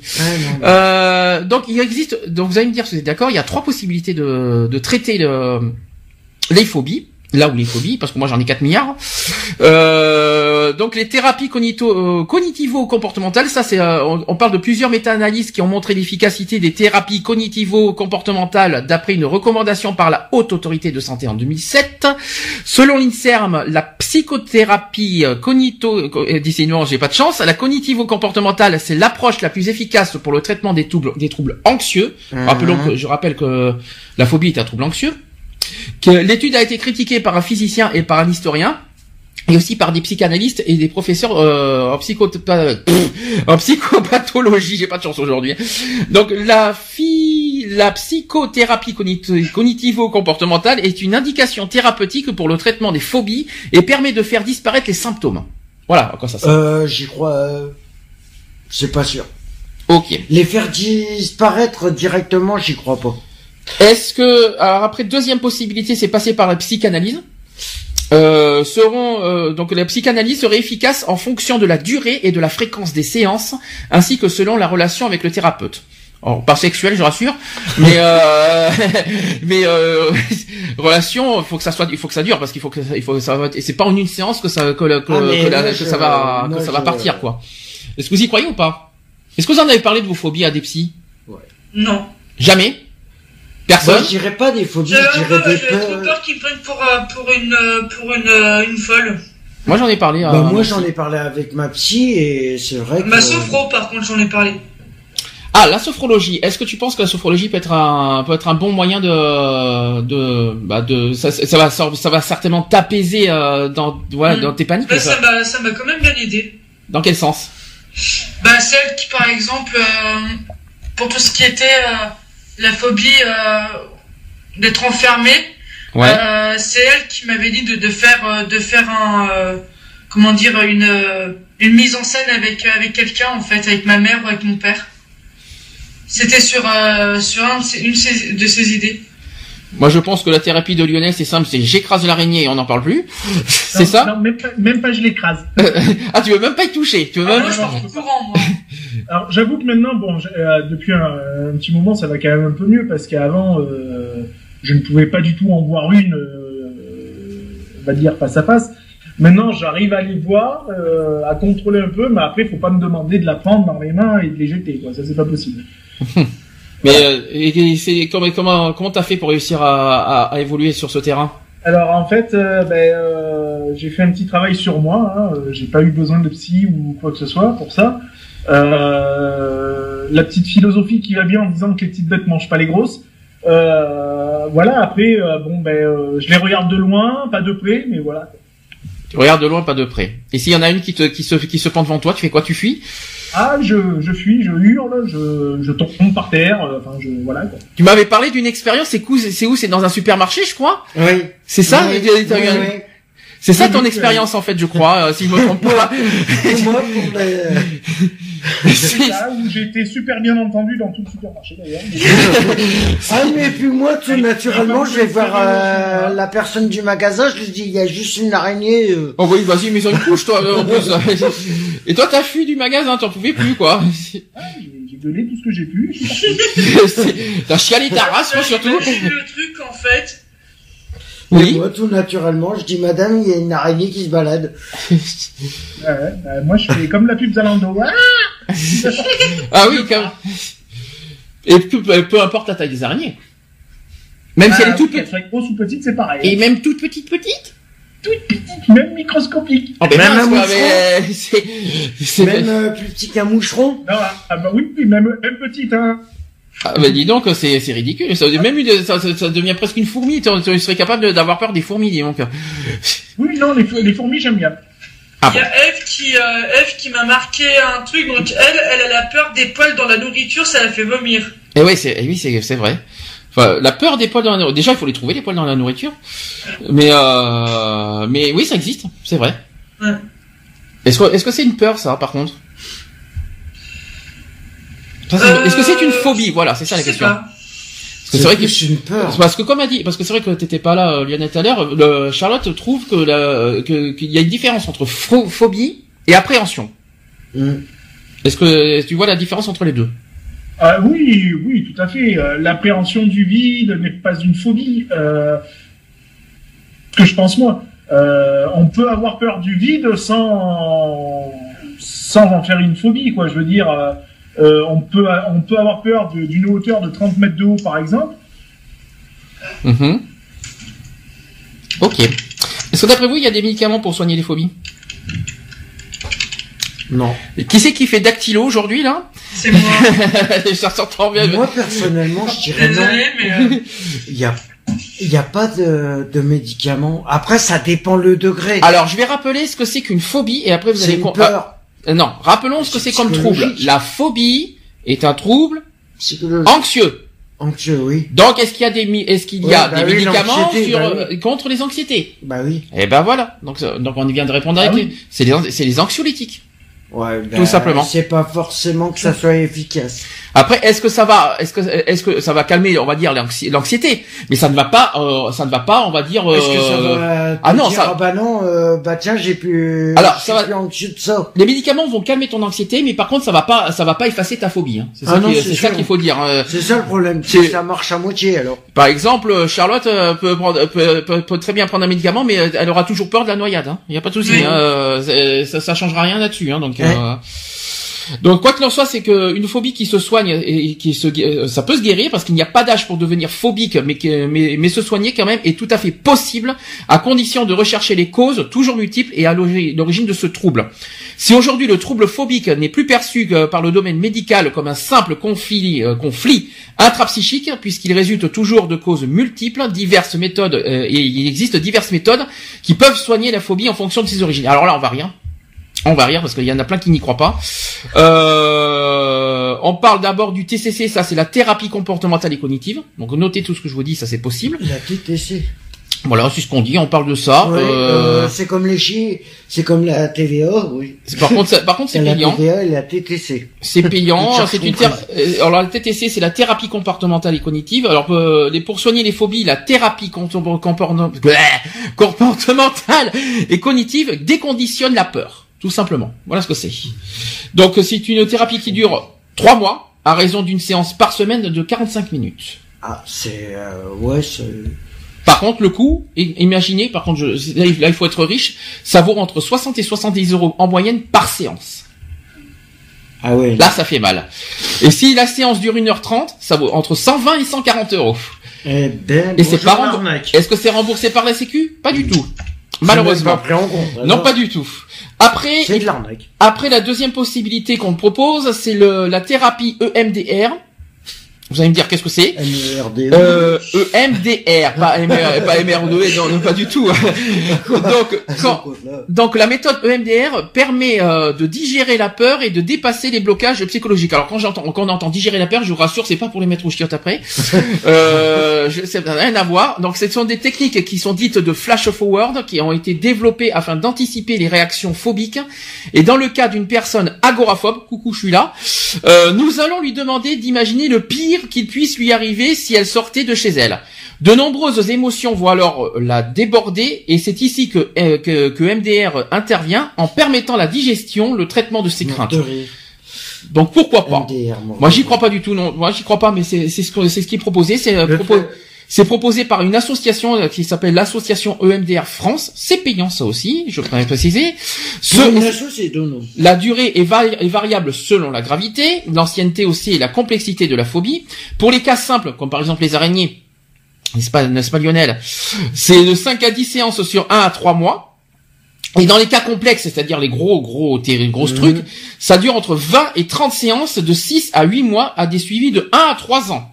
Mais quand même, ils sont gentils parce que à côté, suivant Bonjour, les le thérapeutes, suivant les thérapeutes, ça coûte entre 50 et 150 euros la séance. Bonjour, le prix. Et maintenant, troisième possibilité, et là je sais qu'il y en a plein qui sont, qui, qui n'y sont pas d'accord, l'hypnose. Ah oui, non, mais alors là, tu me feras pas croire tant que je l'ai pas testé L'hypnose. et qu'on m'a prouvé que ça existe, tu me feras pas croire à l'hypnose. Alors l'hypnose, qui y croit, Je qui suis n'y croit pas pareil, que- je suis pareil qu'Alex. Oh, mon dieu. Qui y croit? Pas moi. Lionel, qui y croit? Moi, j'ai tendance à y croire. Donc, pour, pourquoi? Bah, parce que j'ai vu plusieurs. Enfin, euh, Mais t'as vu, mais tu l'as, tu l'as vécu? Je vais pas dire que j'ai assisté à ce genre de, de pratique-là, mais euh, si, si ça existe, c'est qu'il y a une raison et euh, les gens, je pense pas que ce soit truqué ou quoi que ce soit. quoi. Après, moi, je l'ai pas, j'en ai jamais fait sur moi-même. Alors peut-être que si on me le faisait euh, rencontrer, euh, rencontrer un hypnotiseur euh, et qui me prouve en euh, que je lui serve de cobaye et qui me le prouve pas un par cobaye. vidéo, qui m'enregistre en même temps, C'est peut-être pas que ça j'y croirais. Attention, c'est pas mentaliste, Non, mais- hein. on parle pas de mentaliste là. hein. Non, Euh, non, mais l'hypnose. Oui, mais l'hypnose c'est pas un mentaliste. Si hein. je sers de pas de cobaye, mais de Ah, tu serais un cobaye, pour moi, ça serait plus, euh, tu serais plus euh, victime d'un mentalisme. Si tu te souviens de ça aussi, il y a eu un émission de C'est mon choix sur le Ah ouais, mentalisme. non, mais oui. On en parlera, je pense, un jour de ça, euh, parce que moi, je C'est pour pense- ça, moi, tout ce qui est, euh, tout ce qui est truc comme ça, non.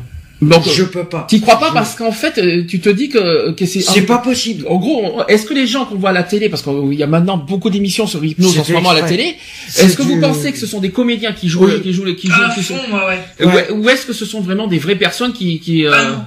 est-ce que vous y croyez Moi, Ouais. j'y crois pas. C'est euh, tout est, euh, tout est prévu pour faire de l'audience. D'accord. Donc vous, vous pensez que c'est de la supercherie tu sais pourquoi? Moi je te dis ça parce que en fait quand je- j'avais vu euh, euh, c'était Star sur, hypno, euh, sur hypnose euh, sur le 1 et c'est Mm. quand il y avait Jeff Panaclock. Tu vas pas me dire qu'un mec qui hypnose euh, un ventriloque peut hy- hypnotiser que le ventriloque et le ventriloque et non pas la marionnette. Oui, parce que c'est Eh vrai que oui. parce que Jean-Marc avait bougé. Effectivement, Ouais, il avait il ça, avait bougé. que dalle quoi. Et, euh, Voilà. La preuve, elle en est. C'est que c'est pas possible. C'est pas possible. Et euh, là où là où on est là où on a du mal à y croire, c'est certains euh, dans des candidats. Là, je- là je parle d'M6 cette fois, euh, quand ils ont parce que maintenant ils en font un jeu Ouais, sur le M6, jeu. euh, le jeu sur l'hypnose, euh, auquel on a des candidats. On se demande si c'est pas des comédiens parce qu'ils ils jouent Bah. tel- c'est tellement surjoué ce qu'ils disent Bah, et ce qu'ils font. rappelle-toi celui qu'on a Euh, qu'on a vu, euh, la personne, je sais plus ce qu'elle devait faire. euh, et en fin de compte, euh, pendant le jeu, elle le faisait pas du tout. Alors, Hmm. euh, si l'hypnose fonctionnait, elle aurait dû le faire automatiquement. Quoi qu'il en soit, vous savez combien ça vaut l'hypnose une séance? Est-ce que vous savez? J'imagine. Alors déjà, euh, 150 et 200 euros. Alors déjà selon eux, il faudrait entre une et dix séances d'une heure pour euh, pour euh, pour pour soigner une phobie par Mhm. hypnose et la séance d'hypnose vaut 60 euros euh, environ 60 euros la séance. Et qui n'est pas pour remboursé faire par Hein Ouais, puis qui n'est pas remboursé par la Sécu. je. Évidemment, mais bien sûr, t'as déjà vu l'hypnose remboursée, mais bien sûr que non. Ça c'est sûr que non. Et tu disais Lionel parce que je t'ai entendu de loin. Je, je dis, ça, ça, doit, ça fait cher quand même pour faire une sieste, quoi. Ouais, C'est vrai. Une sieste, euh, oui, pas vraiment, parce que si t'es hypnotisé et que Mais c'est une histoire consciente, mais après, ceux qui y croient, euh, c'est leur problème. Qui croient, parce que qui croient, euh, donc, ils- C'est un, ils- c'est un peu comme les magnétiseurs, hein, euh, Ouais. ceux qui enlèvent le. ça j'y crois. C'est comme les, euh, Alors- c'est comme les. Euh, Alors le qui- magnétisme, je suis désolé, ça j'y crois, je l'ai, ça j'ai fait l'expérience du magnétisme. Le Non, magnétisme, c'est comme, aussi, je te rassure, j'y crois. J'y crois, J'y hein. crois dur comme fer. Magnétiseur, donc. euh, C'est comme les voyantes. Ah les voyantes, c'est, compliqué. Hein. C'est comme la voyante qui voit dans sa boule que tout va bien Oui, mais on ça, c'est- euh, C'est plus compliqué. Là, là où là, là, il y a une Ouais. chose qui arrive. euh, là, on a été, là par contre, on a été scotché. D'ailleurs, je te, je conseille de voir cette émission parce qu'on a été scotché sur certains, sur certains points. C'était sur le mentalisme. Ah, ça, mentalisme, franchement, oui, après. euh, Euh, ça, franchement, il y a, il y a des choses qui sont vraiment surprenantes. Euh, ça, j'y crois. Maintenant, au mentalisme, maintenant, on a eu, on a vu certaines choses qu'on ne croyait pas au départ, mais on a vu de ces choses. Ah oui, euh, c'est sûr. C'est sûr que le vraiment mentalisme, oui, c'est sûr. La Il voyance, il j'y a crois pas. Euh, les boules de cristal, c'est même pas la peine de rêver. Euh, les cartes, ça dépend. Hein, c'est Ouais, trop il facile. des- Enfin, Euh, toi, tu- Le tu ma- vas- Par contre, pourquoi t'as parlé du magnétisme, Lionel? Non, parce que je sais qu'il y a beaucoup de personnes qui qui y croient pas, donc euh, Oui, mais- voilà quoi, je veux dire. Donc euh, après, moi je dis que voilà, pour y croire, faut vraiment vivre l'expérience. Mm. Ça, je l'ai vécu, Euh. le magnétisme, parce que euh, ça, le magnétisme, pour ceux qui l'ont pas vu, c'est quand une personne qui, euh, qui, qui dégage de la chaleur, et tu le, ça, ça, tu le ressens. Tu la Et ressens. par exemple, quand t'as Après, des douleurs, t'as des douleurs, euh, t'as des douleurs sur euh, sur certains points, euh, notamment sur des euh, voilà, euh, sur certains des- sur certains points de tout ça. Une fois que t'as le magnétisme, t'as plus tu tu sens pas la douleur. Donc bien sûr, c'est pas un soigneur, hein, le, le magnétiseur. Ça, ça calme la douleur pendant un certain temps et ça te fait du bien, quoi, notamment pour le dos, tout ça. Mais c'est pas un soigneur. Attention, c'est pas la même chose. hein. Mm. Mais euh, c'est vrai que mais ça, ça existe. Par contre, ça, ça coûte cher au magnétiseur, il me semble, hein, cette histoire. Hein. Ça coûte très Ah, très oui, cher. bah, oui, oui, parce qu'il y a toujours, euh, euh, il y a toujours une conséquence en fait, donc euh, parce que le, le magnétiseur donc va prendre le, Le côté négatif, Le je crois. Oui, c'est ça. Mm. Après, voilà. oui. l'absorbe en fait, donc après euh, il y a tendance à avoir des répercussions. Bah, je commence à y croire le, au magnétisme, mais euh, il y a certains, il y a certaines choses que je crois pas, quoi, comme l'hypnose. Pour moi, c'est pas possible. Mm. Le mentalisme aussi, des fois, j'ai, euh, je suis un peu, euh, un peu sceptique. Est-ce que l'un de vous est superstitieux? Pas du tout. Est-ce que quelqu'un a peur du vendredi 13 Non. Est-ce que quelqu'un a peur du chat noir? Non, j'en ai un. Non. Oui, moi aussi d'ailleurs. J'en ai un, moi aussi, on en a un. euh, Est-ce que quelqu'un est déjà passé sous une échelle? Oui. Oui. ça Et alors, vous êtes mort? Non. Bon, bah tout va bien alors, ça va. Bon, vous savez d'où ça vient les superstitions? Bon, c'est, euh, ça doit dater euh, du Moyen Âge tout ça, non? J'ai la superstition. Ça se voit que ça se voit qu'il y en a qui ont bien qui ont bien suivi le sujet apparemment. Je, je- il y en a qui ont bien regardé, euh, il y en a qui ont bien lu d'où ça d'où vient les sujets. Donc en fait, c'est effectivement ça vient du Moyen Âge avec les sorcelleries, etc. Mhm. Euh, alors ça vient à la fois de à la fois des religions et à la fois aussi euh, de, de certaines autres choses. Enfin, il y a plein plein de choses. Euh, donc on, euh, déjà un peu d'histoire, c'est qu'au XIVe siècle, ce terme signifiait religion des idolâtres, culte des faux dieux. Voilà. Et au XVIIIe siècle, il désignait la religion et les préjugés euh, inexplicables à par l'opposition à la raison. Pourquoi pas? Donc la religion est fréquemment qualifiée de superstition par les athées. Est-ce que vous, vous étiez au courant de ça? Moi, je suis athée et euh, Et t'es Personnellement, superstition vers religion? Non. Eh, ça arrive apparemment. Donc en fait, la superstition suppose en effet la croyance et la réactivité de l'univers. Waouh, youpi Ou d'entités surnaturelles face à certains comportements humains Oui, bien sûr. et la croyance que l'on retrouve dans les religions. Néanmoins, Et le... David Duchovny va venir en soucoupe volante. Bien sûr, t'as déjà, t'as déjà vu, t'as déjà vu Mulder euh, de faire euh, voler avec une soucoupe Non, mais Tu voilà. confonds pas avec Stargate là euh, Non, peu- mais c'est pour ça. David Duchovny, va... la vérité est ailleurs. Alors, Oui. néanmoins, n'importe quoi. Néanmoins, le terme de religion désigne un ensemble structuré autour d'une croyance collective concernant les origines ou les fins de l'univers ou, de le, ou le sens de la vie, alors que le terme de superstition désigne une croyance ou pratique considérée isolément. Compliqué, hein? Euh, Qui peut ne pas se rattacher à une religion. Ça, c'est vrai. Il n'en demeure pas moins que les doctrines religieuses fournissent aux croyances et pratiques euh, superstitieuses des éléments. Voilà. Lorsqu'un individu tombe dans un état de superstition excédant démesurément la superstition commune dans sa culture, il s'agit d'une pathologie mentale. Ouais. Voilà, c'est une pathologie. De la paranoïa. Ça, euh, je pense que oui, on nous sommes un peu là-dedans. Effectivement, je. C'est de la paranoïa. C'est vrai. ça, au bout d'un moment, c'est de la Et paranoïa. c'est vrai, tout à fait. T'imagines, euh, tu regardes les euh, le djihadisme, les trucs comme ça. Ça n'a rien à quoi, voir. ça devient de la paranoïa. Hein. Oh mais là, quel est le rapport avec la superstition? Tes superstitions vers le djihadisme? Bah quoi Non mais c'est pas, c'est pas question de ça. Oui. C'est que ils croient, ils attaquent la, par rapport à ce qui s'est passé, par rapport à tout ce qui s'est passé, par rapport aux attentats, par rapport à tout ça. Au bout d'un moment, ça devient de la paranoïa Oui, complète. mais la hein. paranoïa, ah oui, mais attention, paranoïa, si tu vas en termes général, d'accord, mais là on parle de superstition, donc euh, ne confond pas. euh, Bah, par c'est contre, qu'ils croient par contre, la euh, tellement qu'ils sont les plus forts et puis que. par voilà. contre, la superstition, et ça c'est vrai, c'est il faut rapprocher de la paranoïa et même de la psychose. Ah mais. Ça c'est vrai, ça c'est ça c'est vrai, je te le- je te je te, je te l'accorde. Par ailleurs, le, le superstitieux pathologique spécule sur l'existence d'un ordre supérieur invisible qui est bien incapable de décrire, mais qui est là, présent et impose ses lois. Ça fait un peu ça fait un peu schizophrène quand même là. Euh, oui, on en est pas loin aussi. C'est- Donc à la différence de la superstition populaire qui est souvent anodine voire sociale, établir le thème astral d'un ou d'une ou une amie est un moyen comme un autre de lui dire je m'intéresse à toi. C'est hyper compliqué. Hein. J'ai jamais, j'ai jamais eu un- une- une- un sujet aussi compliqué. Euh, le, euh, le superstitieux se sent en défi perpétuel avec le monde qui l'entoure et il passe son temps à vérifier que les angures lui sont favorables. Ainsi, par exemple, va-t-il compter les carreaux d'un parquet pariant avec lui-même qu'il doit y en avoir un nombre pair? Imaginez le bordel, hein. Ou, ou un pair. un nombre impair, euh, dans la, dans le caca. Ou se créant ainsi des frayeurs, des angoisses si le résultat obtenu ne correspond pas à son souhait. Oui, non mais. C'est ça le superstitieux. De tels comportements qui entrent dans la catégorie des troubles obsessionnels compulsifs. Voilà ce que c'est que Les superstitions. Ce Mm. sont les tocs. C'est pour ça qu'on a parlé des, euh, c'est pour ça qu'on a parlé des tocs. C'est des tocs. Mm. Les superstitions. Et les autistes et les maniaco-dépressifs sont, euh, ah bon, sont particulièrement enclins à de nombreuses superstitions, souvent imbriquées les unes dans les autres. Je l'aurais su, hein, si c'était le cas, mais bon, c'est bizarre. voilà. Est-ce que, Oui. vous- est-ce que vous êtes d'accord avec tout ça? Merci. Bah, écoute, oui. Merci tout le monde de me À répondre. l'écoute, oui, mais dans les faits, non. Voilà. Est-ce que vous savez d'où viennent les superstitions? Alors déjà, j'ai j'ai tous les. On ne triche pas d'ailleurs au passage, n'est-ce pas, n'est-ce pas Charlotte? Euh, dire, hein. Une fois pas. Lionel? Euh, Est-ce que pour vous, vous ouvrirez un parapluie dans votre maison?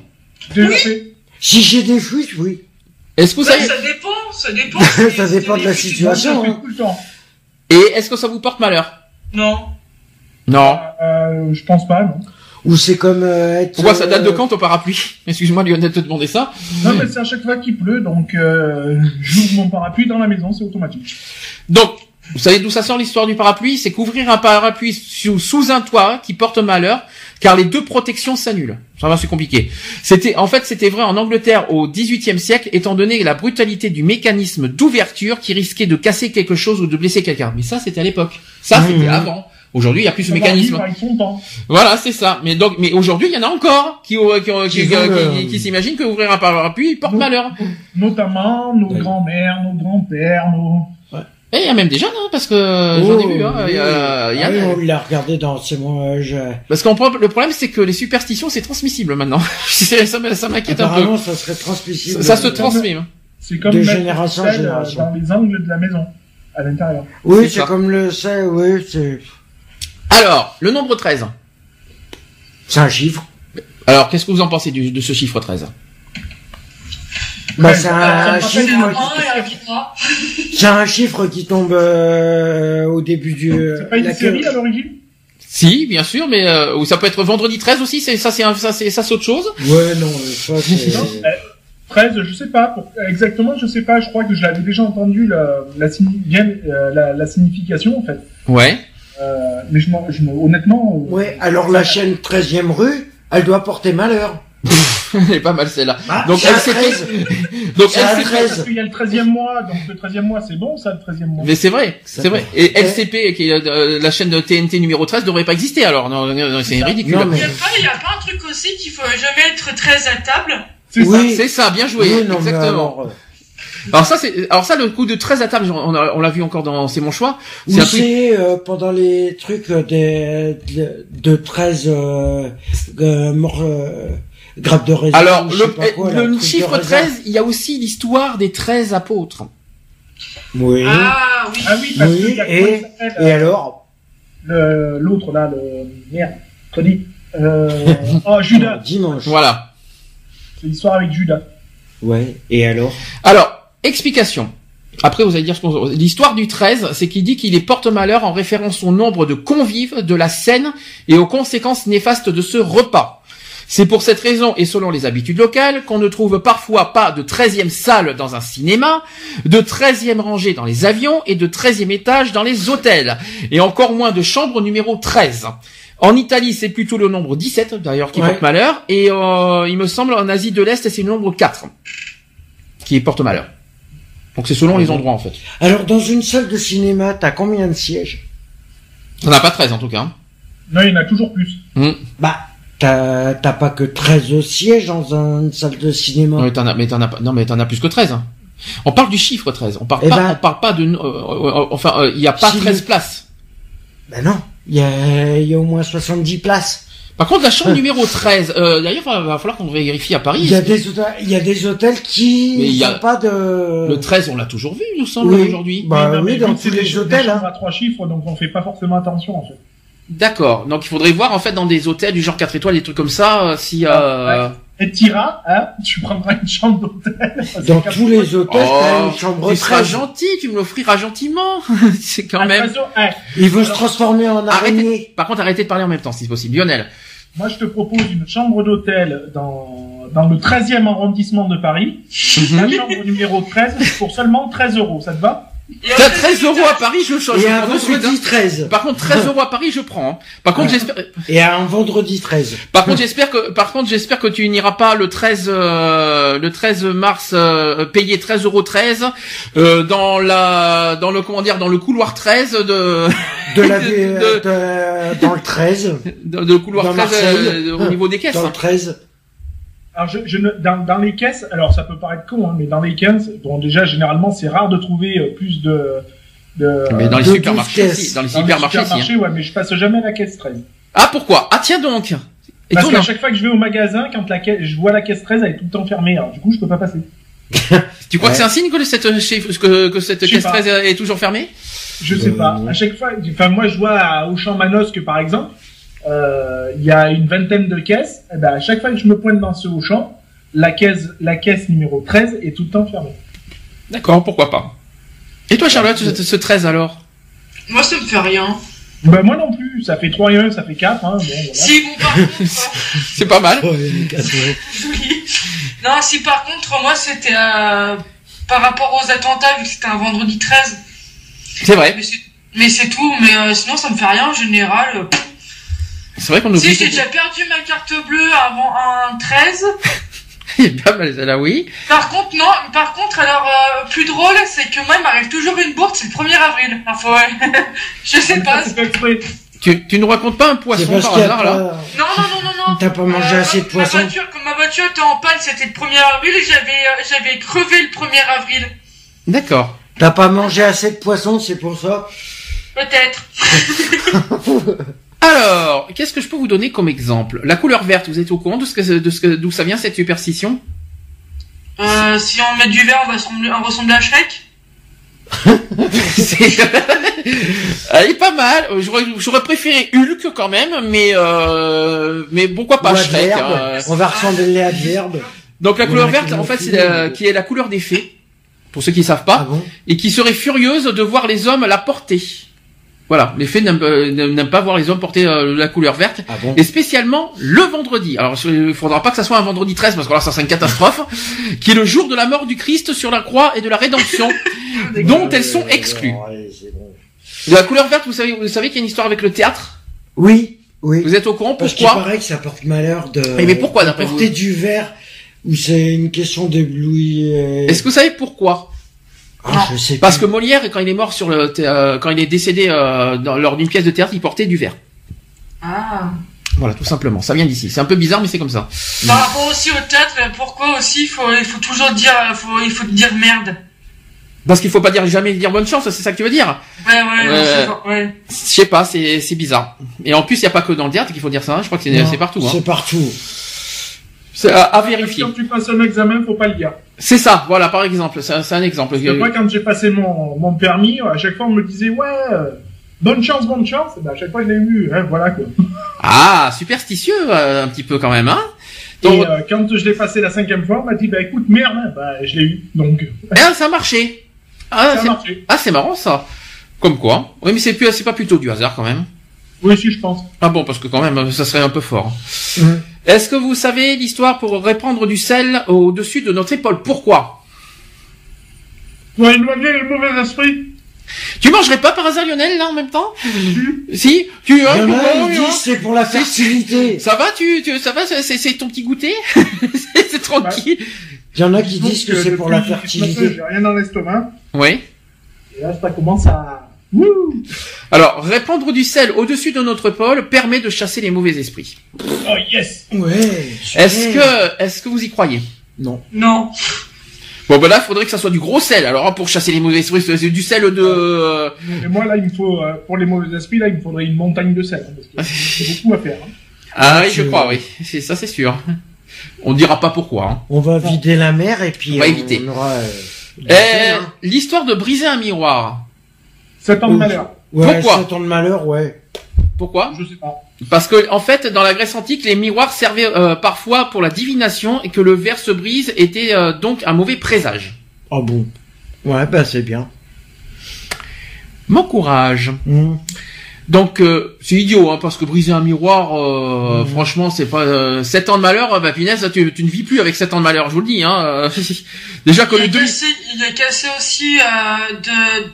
C'est quoi C'est du verre blanc ou un truc comme ça qui porte bonheur Lors de ton mariage, oui, il paraît. Ah ça c'est tout à l'heure, j'en j'en parlerai tout à l'heure, j'y suis pas encore pour l'histoire du mariage. Je je l'ai ça aussi j'ai l'histoire. Euh, l'histoire no- notamment l'histoire du riz aussi par exemple, j'en parlerai aussi. oui. Je Euh, préfère le manger, le riz, mais bon. si un chat noir traverse devant nous, cela porte malheur. Waouh J'ai un chat noir devant moi et je, je- c'est fou comme ça me porte Euh, malheur. Bah tiens, c'est hier. oui. Ou non, c'est quand que j'ai, euh, je suis parti. euh, bah c'est cette semaine. Je suis parti faire des courses en vélo. J'ai un chat noir qui m'est traversé, il m'est pas arrivé de pépin. Oui, t'es t'es pas tombé pour autant d'un vélo, c'est ce que tu veux Bah dire. non. Oui, d'accord. Est-ce que tu l'as écrasé? Non. Non, Oh mais t'es dégueulasse Charlotte quand même. tu pauvre chat et non. rêve. Tu sais quoi? Tu sais quoi? J'ai freiné, je suis descendu de mon vélo, je l'ai laissé passer. Ah sympa. C'est bien. Moi, j'aurais tiré mon chapeau aussi avec. Non, mais Il franchement, t'a je dit- me suis arrêté, je l'ai laissé passer. Il t'a remercié Le chat. Il t'a Ah remercié bah, le je chat sais pas, Ah bon, on sait jamais. je sais pas. Il a continué sa route. Il a remué la queue. Non. Il a continué sa route et puis c'est tout. hein. Lionel, Il m'a fait une patte Lionel, excuse-moi, te, dé- excuse-moi, te- on t'entend un peu faiblement par rapport à tout le monde. Donc, euh, essaye d'augmenter un Normal. tout petit choui ton micro parce qu'on t'entend un peu loin, si c'est euh, si c'est possible. Si ça si ça te dérange pas trop. Donc Tout est le- possible. le- tout est possible, oui. Ça c'est Jean-Marc Morandini qui disait ça. Avec la carte qui Passer sous moitié une- prix. Passer sous une échelle porte malheur. Oui, bien sûr. Non. Est-ce que vous savez pourquoi? Alors, Hum, Alors ça je non, l'ai. je sais pas. Alors je l'ai rendre pas devant moi. les êtres humains. Je l'ai pas devant moi, mais je l'ai, je l'ai appris dans C'est mon choix. C'est une histoire de, en fait, c'est la, la, la, la manière que Le fait qu'il que est c'est un posé. triangle. Voilà, ce fait que c'est, c'est la manière qu'il est posé en version triangulaire. euh, ça fait penser, je crois, tu t'en souviens qu'ils ont dit Une un, pyramide ou je sais euh, plus. non pas les pyramides, je sais plus. Si, mais c'est un forme, un truc de du mal quoi. De, du, Ouais, euh, c'est- ouais. la forme en fait du, de l'escabeau qui qui fait penser à des euh, à Au des mal. choses euh, au mal quoi. On va dire ça comme ça. Bizarre. Alors, est-ce que présenter le pain à l'envers sur une table attire le diable? Non, c'est une manque de respect. Ouais, pourtant- Ouais, c'est un manque de respect, ouais. Après, voilà pour les pour les euh, pour les Ça croyants et tu tout ne ça. gagnes pas ton pain sur le dos. Pour euh, pour les croyants, ils vont dire que toute façon, ça porte malheur. L'histoire euh, découverte, l'histoire découverte, on va en parler parce que l'histoire des euh, des, des, euh, des des trucs euh, croisés, enfin des, Des découvertes croisées, des couverts croisés, ouais, ça fait allez. rigoler ça à chaque fois. ça, je, on en parlera. euh, L'histoire, ouais, il faut mettre la fourchette à droite, gna gna gna, Ouais, etc. ouais. Voilà. arrêtez. Est-ce qu'utiliser les béquilles de quelqu'un qui en a réellement besoin peut vous faire subir le même sort? Bah écoutez, vous allez essayer la prochaine fois. Tu, tu, euh, bon, bon, déjà, ça veut dire que la béquille, j'ai pas intérêt de la prêter. Si je comprends bien, j'ai pas intérêt de prêter ma, prêter ma béquille à qui que ce soit, si je comprends bien. Mais euh, qui c'est qui a essayé ma béquille? Il y a quelqu'un qui a essayé ma béquille? Est-ce que pour autant il a, pas- il a eu un problème? Non, ça va. C'est qui c'est qui a essayé ma béquille? C'est toi et Lionel, non Je crois? Oui, moi j'ai essayé ta béquille, j'ai même essayé le fauteuil roulant de ma mère. Donc, Ouais. Et euh, et tu l'as pas. euh, Et pour autant, t'as pas. T'as, il t'est Non, arrivé. non. Il t'est rien Non, arrivé, il me semble. jambes. Ouais, t'as encore tes deux non, jambes. mais voilà, les superstitions après. Alors, alors ça c'est drôle. Ça c'est la, c'est la première fois que je vois ça. C'est, et- et je sais pas si vous étiez au courant. Pour guérir de la morsure d'un chien, qu'est-ce qu'il faut faire d'après vous? Se pisse là-dessus. Non. D'après vous. Bah, tu prends, la- tu prends une, euh, Ça va être drôle. Là, vous allez être mort de tu rire. prends quand une je- compresse les yeux. Tu lèches la plaie. Non. Tu prends de la- du désinfectant et puis Non. tu, le- Oui, mais dans, dans la version courante. Mais là, on parle de superstition. Donc, euh, d'après vous. tu te refais mort par un clébard, ça va. Non mais, non mais, c'est la je crois, que c'est, première. je crois que c'est une des superstitions les plus débiles que je vais vous raconter. Donc, Tu te fais mort par un chat par la suite. pas du tout, Au moins, mais tu je seras crois- vacciné. non mais je crois que c'est quand même une des superstitions les plus débiles que je vais vous raconter. C'est qu'en fait, pour guérir de la morsure d'un chien, il faut manger un de ses poils. Bon appétit. voilà. Mais bien sûr, tu te fais, tu te fais, euh, tu te fais manger par un serpent, il faut que tu bouffes une, euh, la peau du serpent. Mais Tu- bien sûr. Lionel qui est toujours aussi loin niveau micro, tu disais Non, je, dis, je disais des conneries, laisse tomber. Oublie. Non mais alors, trop tard, avec moi tu sais comment ça fonctionne, quand on dit une connerie on assume et on dit au bout. Non, quand toi, tu disais, ouais, il faut manger un poil, je dis, ouais, avec des puces dessus. Ah non Non, quelle horreur Eh, on n'a jamais dit. Après, ils ont dit de manger un poil, mais on sait pas de quelle partie. il Ah vient, mais hein. c'est dégueulasse Le. En plus il faut manger le poil, Ah, il fait une brochette, c'est bon.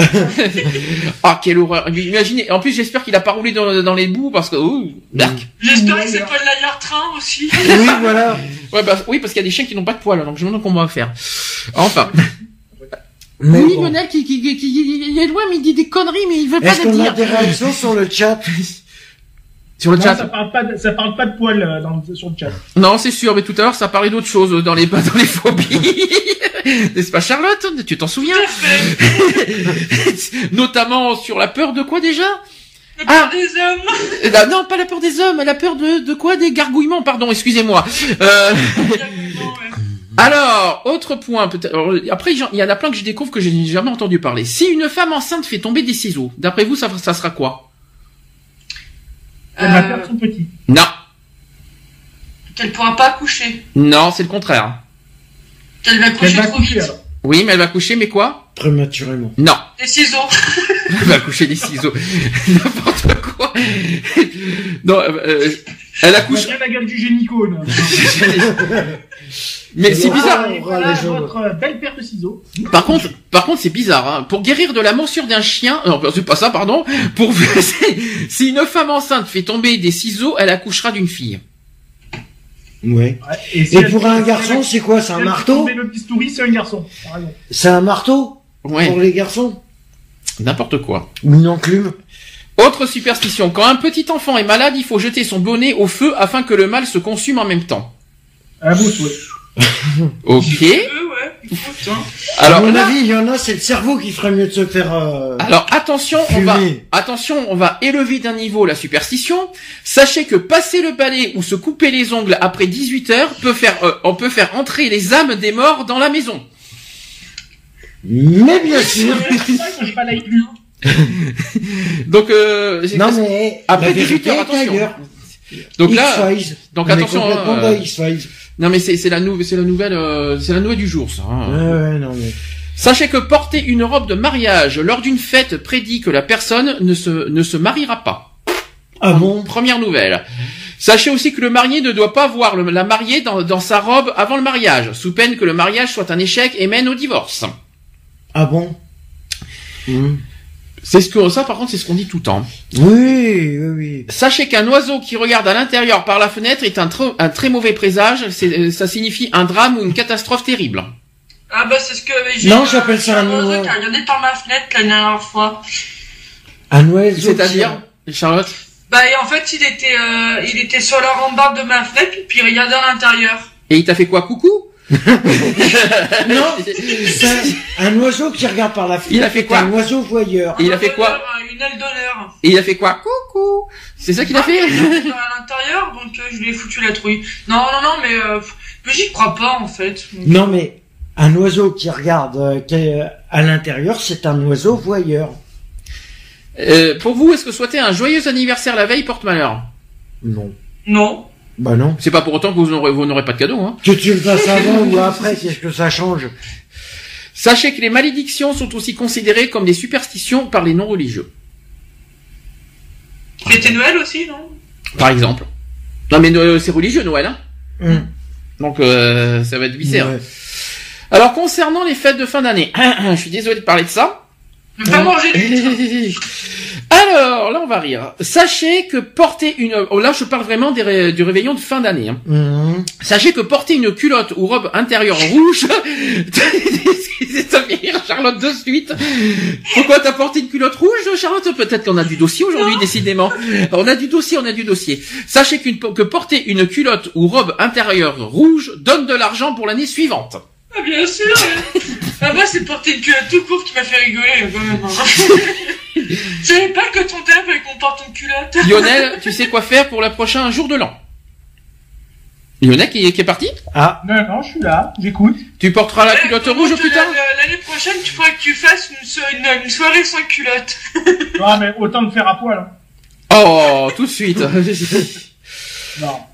Alors là, euh, après, après c'est bizarre. hein. Euh, mettre des lentilles dans tous les coins de la maison. Est-ce que vous étiez au courant de ça Oui, En ça attire les fourmis. Est-ce que ça alors, alors, quand on parle des lentilles, c'est des lentilles de de, de miam miam, pas les lentilles des yeux. Hein. Oui, oui, non mais, Euh, moi, j'allais mais- dire, j'en ai, j'en ai aux yeux, donc après, euh, voilà. non mais les lentilles, les Est-ce que tu lentilles. mets les saucisses avec aussi Oh putain, non Ah ça c'était, ça c'était, Moi, je suis origine sec. Parce que ça, de charcuterie, hein. ça je sais aussi. pourquoi Charlotte raconte ça. Ça c'était le délire du chat, ça. Lionel, Les tu disais quoi lentilles. Lionel, tu disais quoi sur les lentilles? Non, je disais que, euh, euh, quoi, euh, Porter des lentilles, euh, avec quoi tu disais? C'était sur les lentilles. Mais si, sur les saucisses, c'est ça que tu disais. oui, voilà, ça, Oui, c'est marrant. voilà. Suis origine sec, alors voilà, quoi. D'accord, ok. Non, parce que euh, c'est c'est une longue histoire, c'était délire sur le chat, ça. Oui, ça, oui, je me Non, c'est pas vrai. C'est pas vrai. C'est comme Voilà, le raisin sec, hein. C'est comme la chat, grappe de raisin, hein. Si, c'était sur le chat. Je m'en souviens encore. On était tous les cinq à déconner. euh. C'est même moi qui a longtemps. Bon. Non, c'était il y a trois jours. On est en train de dévier. C'était il y a trois jours. Non, mais c'était, non, mais c'était l'humour, on s'en fout. Alors, sachez que faire une petite promenade avec une valise pour voyager, il faut, non, alors pour la fin d'année, il faut faire une petite promenade avec une valise pour voyager. Oui, bien sûr. C'est la première fois que j'entends ça, par contre. Dans ta valise de chez toi à ta voiture, t'as voyagé, hein. Sachez aussi que en fin d'année, il faut mettre les, des pétales de rose dans le lit et allumer une chandelle rose dans la chambre pour trouver le vrai amour ou si, ou si l'on a déjà le conserver. Et puis tu mets les épines c'est avec la fête de la Saint-Jean. Ça, ouais, mais Et après, tu fous le feu. Comment foutre le feu au drap? Il faut également manger 12 racines pour chaque racine. Demander un souhait à minuit pile. Alors vous faites ça avec les, les raisins, ça marche Ouais, aussi. Hein. C'est comme les raisins, oui. Alors, moi, je pars du principe, c'est que une fois que t'es mort, t'as le temps de manger le- les racines, en fait. Oui, c'est Oui. Euh, voilà, quoi. Et tu manges même le pissenlit. Et en... oh, c'est dégueulasse. Et en fin d'année, il faut s'embrasser. Et, et en fin d'année, il faut s'embrasser sous le gui pendant les 12 coups de minuit. Il faut déjà trouver le gui, hein. Euh, surtout en hiver. Et, sur- et surtout en hiver. Mais non, mais tu sais pas, c'est pas ça. Si par exemple, tu passes sous un pont et qu'il y a un monsieur qui s'appelle Guy, tu t'embrasses. C'est pas mal. elle, est, elle est pas mal, celle-là, j'aime bien. Oui, sous le gui, euh, sous le ou sous- bah quoi? Elle est pas mal, celle-là. Il faut, tr- faut trouver quelqu'un qui s'appelle Guy et, et Et sans- soit sur un pont et puis toi tu passes en dessous Tu et puis tu d'attendre t'embrasses. longtemps. Non, mais tu dois pas. toujours attendre. Oh, mais t'es dégueulasse. Non, mais je rêve. C'est pas, c'est, c'est pas où est Charlie, c'est il est où Guy? Ah oui, il est où Guy? Oh là là. Mais vous avez, vous avez, vous avez pété un câble aujourd'hui. T'as hein. Pas Guy vous arrivez, mais... Parce qu'attention, parce que Guy peut arriver tard. Parce que guitare. Ouais, ah, ah, elle est bonne celle-là. Et t'as Guy, euh, Guy, Land, Et tu sais, le Guy, il a-. Tu sais, le Guy, il a pas de bol parce que Guy bol. Bon, merci, au revoir. euh... oh, ça y est, ça s'est dit. Oui, Et et Guy, il habite dans les Landes. Ça fait Guy Land. Ah, Guirlande. non. Ok. Moi, je trouve que Guy est un peu mauve. Allez, je continue. Est-ce que vous savez qu'il y a des porte-bonheur? On va changer un peu de sur. Il y a des... non, parce qu'il y a aussi des superstitions dans les porte-bonheur aussi. Les gris-gris, vous savez, les petits gris. Des gens qui sont chiants et qui portent leur fait noir, c'est noir. Alors, sachez que soi-disant qu'il y a l'échelle à 13 barreaux qui porte, euh, à 13 barreaux qui porte bonheur. Ah bon? Le Et fameux, si t'en as 12 et demi, tu fais comment? Ah bah, euh, déjà et demi, euh, l'échelle n'est pas bon, hein, je te le dis, hein. Non, mais Déjà, tu vois la contradiction. Oui. Le mec, il a une échelle à 13 barreaux, Oui. Et à il 13. peut même pas passer dessous, quoi. Et, et surtout avec 13, ça va être difficile, ça va être difficile, là, euh, Bah non, quelque- euh, Le fameux, le fameux trèfle à quatre feuilles. ça. Vous y croyez ou pas? Non. Non. Non, non. Vous avez déjà Parce que testé t'as jamais, euh, jamais, jusqu'à maintenant, jamais j'ai trouvé. jamais trouvé de trèfle à quatre feuilles. Si moi j'en ai trouvé, mais est-ce que, euh, mais ça, J'en c'est ai pas pour trouvé autant. un à trois et demi. Trèfle, les trèfles à quatre feuilles, les trèfles à quatre feuilles, ça existe. Oui, ça existe. Par contre, ça ne, ne, ne vous imaginez rien. Ça ne, ça ne vaut, ça vaut rien. J'en ai trouvé à trois Je feuilles. confirme aussi parce que il paraît. que- Alors attends, c'est quoi? Ça, ça, porte, ça porte de l'argent, un truc comme ça? Ouais. Oui, oui, oui, oui, c'est ce qu'on dit. euh, tu vois, prospérité été pour- avec euh, millionnaire ou quoi. En fait, parce que quand t'as ton trèfle à quatre feuilles, tu le prends, tu vas voir ton banquier, tu dis maintenant je veux de l'argent. Oui, parce que tu crois que, tu crois que ça va tomber du ciel, l'argent. Non, puis ton banquier derrière, écoutez, monsieur Lionel, vous mettez au cul, euh, votre truc, hein, parce que ça marchera pas, ça. Dis, dis donc, Charlotte, tu, euh, dis donc, euh, je te savais pas comme ça, euh, quand même. Non, mais là, j'ai déjà trouvé des trèfles à trois feuilles, à trois feuilles et demie, mais jamais de quatre. Alors, je continue. Le fer à cheval. Ça, ça Est-ce que peut le- apporter gaieté. Ça apporte un peu de gaieté. Est-ce mais que vous bon. savez comment il faut fonctionner avec un fer à cheval? Il faut l'accrocher au-dessus d'une porte, il paraît. Alors, attends, répète, Lionel. Alors, euh, parce que bon, là, là où euh, t'as le fer à cheval, et normalement, si je me trompe pas, faut qu'il ait sept clous, Ouais. euh, sept clous, et faut qu'il soit mis au-dessus d'une cheminée. Ou Alors, d'une pas, porte. alors moi, j'ai pas ça. Euh, ça euh, je n'ai pas ça. Moi, pour le fer à cheval, on me dit qu'il faut qu'il soit posé ou accroché. Euh, il faut qu'il soit posé ou accroché, l'ouverture vers le haut, car sinon la chance tomberait. Ouais, possible. Bah apparemment, moi, c'est ce que j'ai. Hein, donc. euh. Oui, mais après, euh, oui. Alors après, là, vous, là, vous connaissez aussi. Jeter une pièce dans une fontaine. Ah, ça, c'est de la merde. Ouais, pour mieux la ramasser après. Voilà. Comme ça, pour- en général, je prends toutes les pièces qui sont dedans. non, mais comme ça, la ville, elle se gave. Elle gagne des sous sans, sans payer, euh, sans, sans rien. Donc là-dessus, on passe. Non, bah non. Voir une étoile, voir une étoile filante. Ah, c'est nul. Ouais, bof. Ça, c'est bien quand t'es gosse, quoi. Ouais, c'est ça. gamin, ouais. Mais c'est mignon de voir une étoile filante, mais ça t'apporte rien. C'est beau. C'est beau, c'est un, euh, c'est la un, prends pas dans la gueule, ça va. Alors là, là par contre, c'est bizarre d'entendre, de voir, de, lire ça parce que c'est plutôt le contraire. Euh, porte, apparemment que croiser les doigts porte bonheur. non. Alors là, c'est plutôt bizarre parce que quand tu croises les doigts, surtout quand tu mets derrière ton dos, ça veut dire que tu mens. Je savais pas que ça portait bonheur. Hein. Euh, Alors, Ouais, alors de toute façon, euh, moi, euh, alors après, ça serait croiser les jambes aussi, ça serait, ça porterait bonheur, il paraît, mais bon. ouais, dans les orteils, tu veux dire, parce que les jambes. Non? Euh, bah non, bah. euh, toucher du bois pour conjurer le mauvais sort. Ouais, bof. Il faut que tu touches du bois. Ça, c'est ça, c'est ça, c'est un proverbe. Hein, ça, vous le savez. encore avoir du bois chez soi? Hum. Oh, ben, euh, oui, et puis le toucher, euh, euh, je sais pas pourquoi. Qu'est-ce que ça va changer? Rien, Voir, hein. Voir un arc-en-ciel. On a toujours dit qu'il y avait de l'or au bout d'un arc-en-ciel, mais j'ai jamais vu le début, j'ai jamais vu la fin. Quand tu vois, quand tu vois l'arc-en-ciel, tu te dis, je suis gay. Non mais, euh, Oh non, je savais que t'allais la sortir, celle-là, en plus. Merci Lionel pour ce, merci Lionel pour ce, pour cette précision énorme. non mais, voilà, on dit qu'il y a toujours de l'or au bout d'un d'un arc-en-ciel, mais où est le début, où est la fin?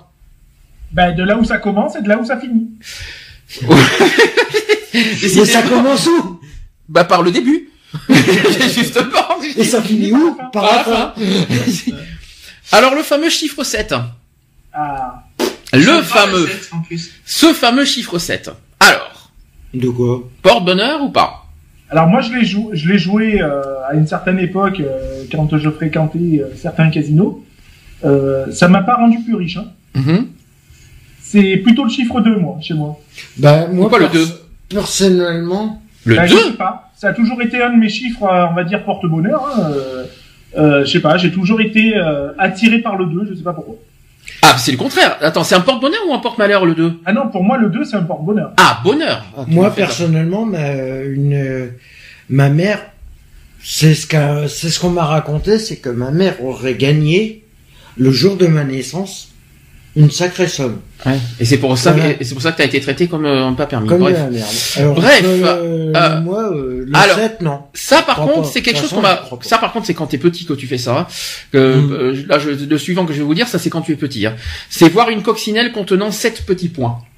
Je n'ai jamais fait ça. Et ça, je l'ai fait ça, par contre. Oui, c'est, oui, en étant enfant, oui. C'est-à-dire que tu cherchais des coccinettes partout et puis il fallait que tu trouves la, la coccinelle qui contenait Et 7 comment points. on te bourre tellement le crâne, Et Lionel, tu du disais de crâne.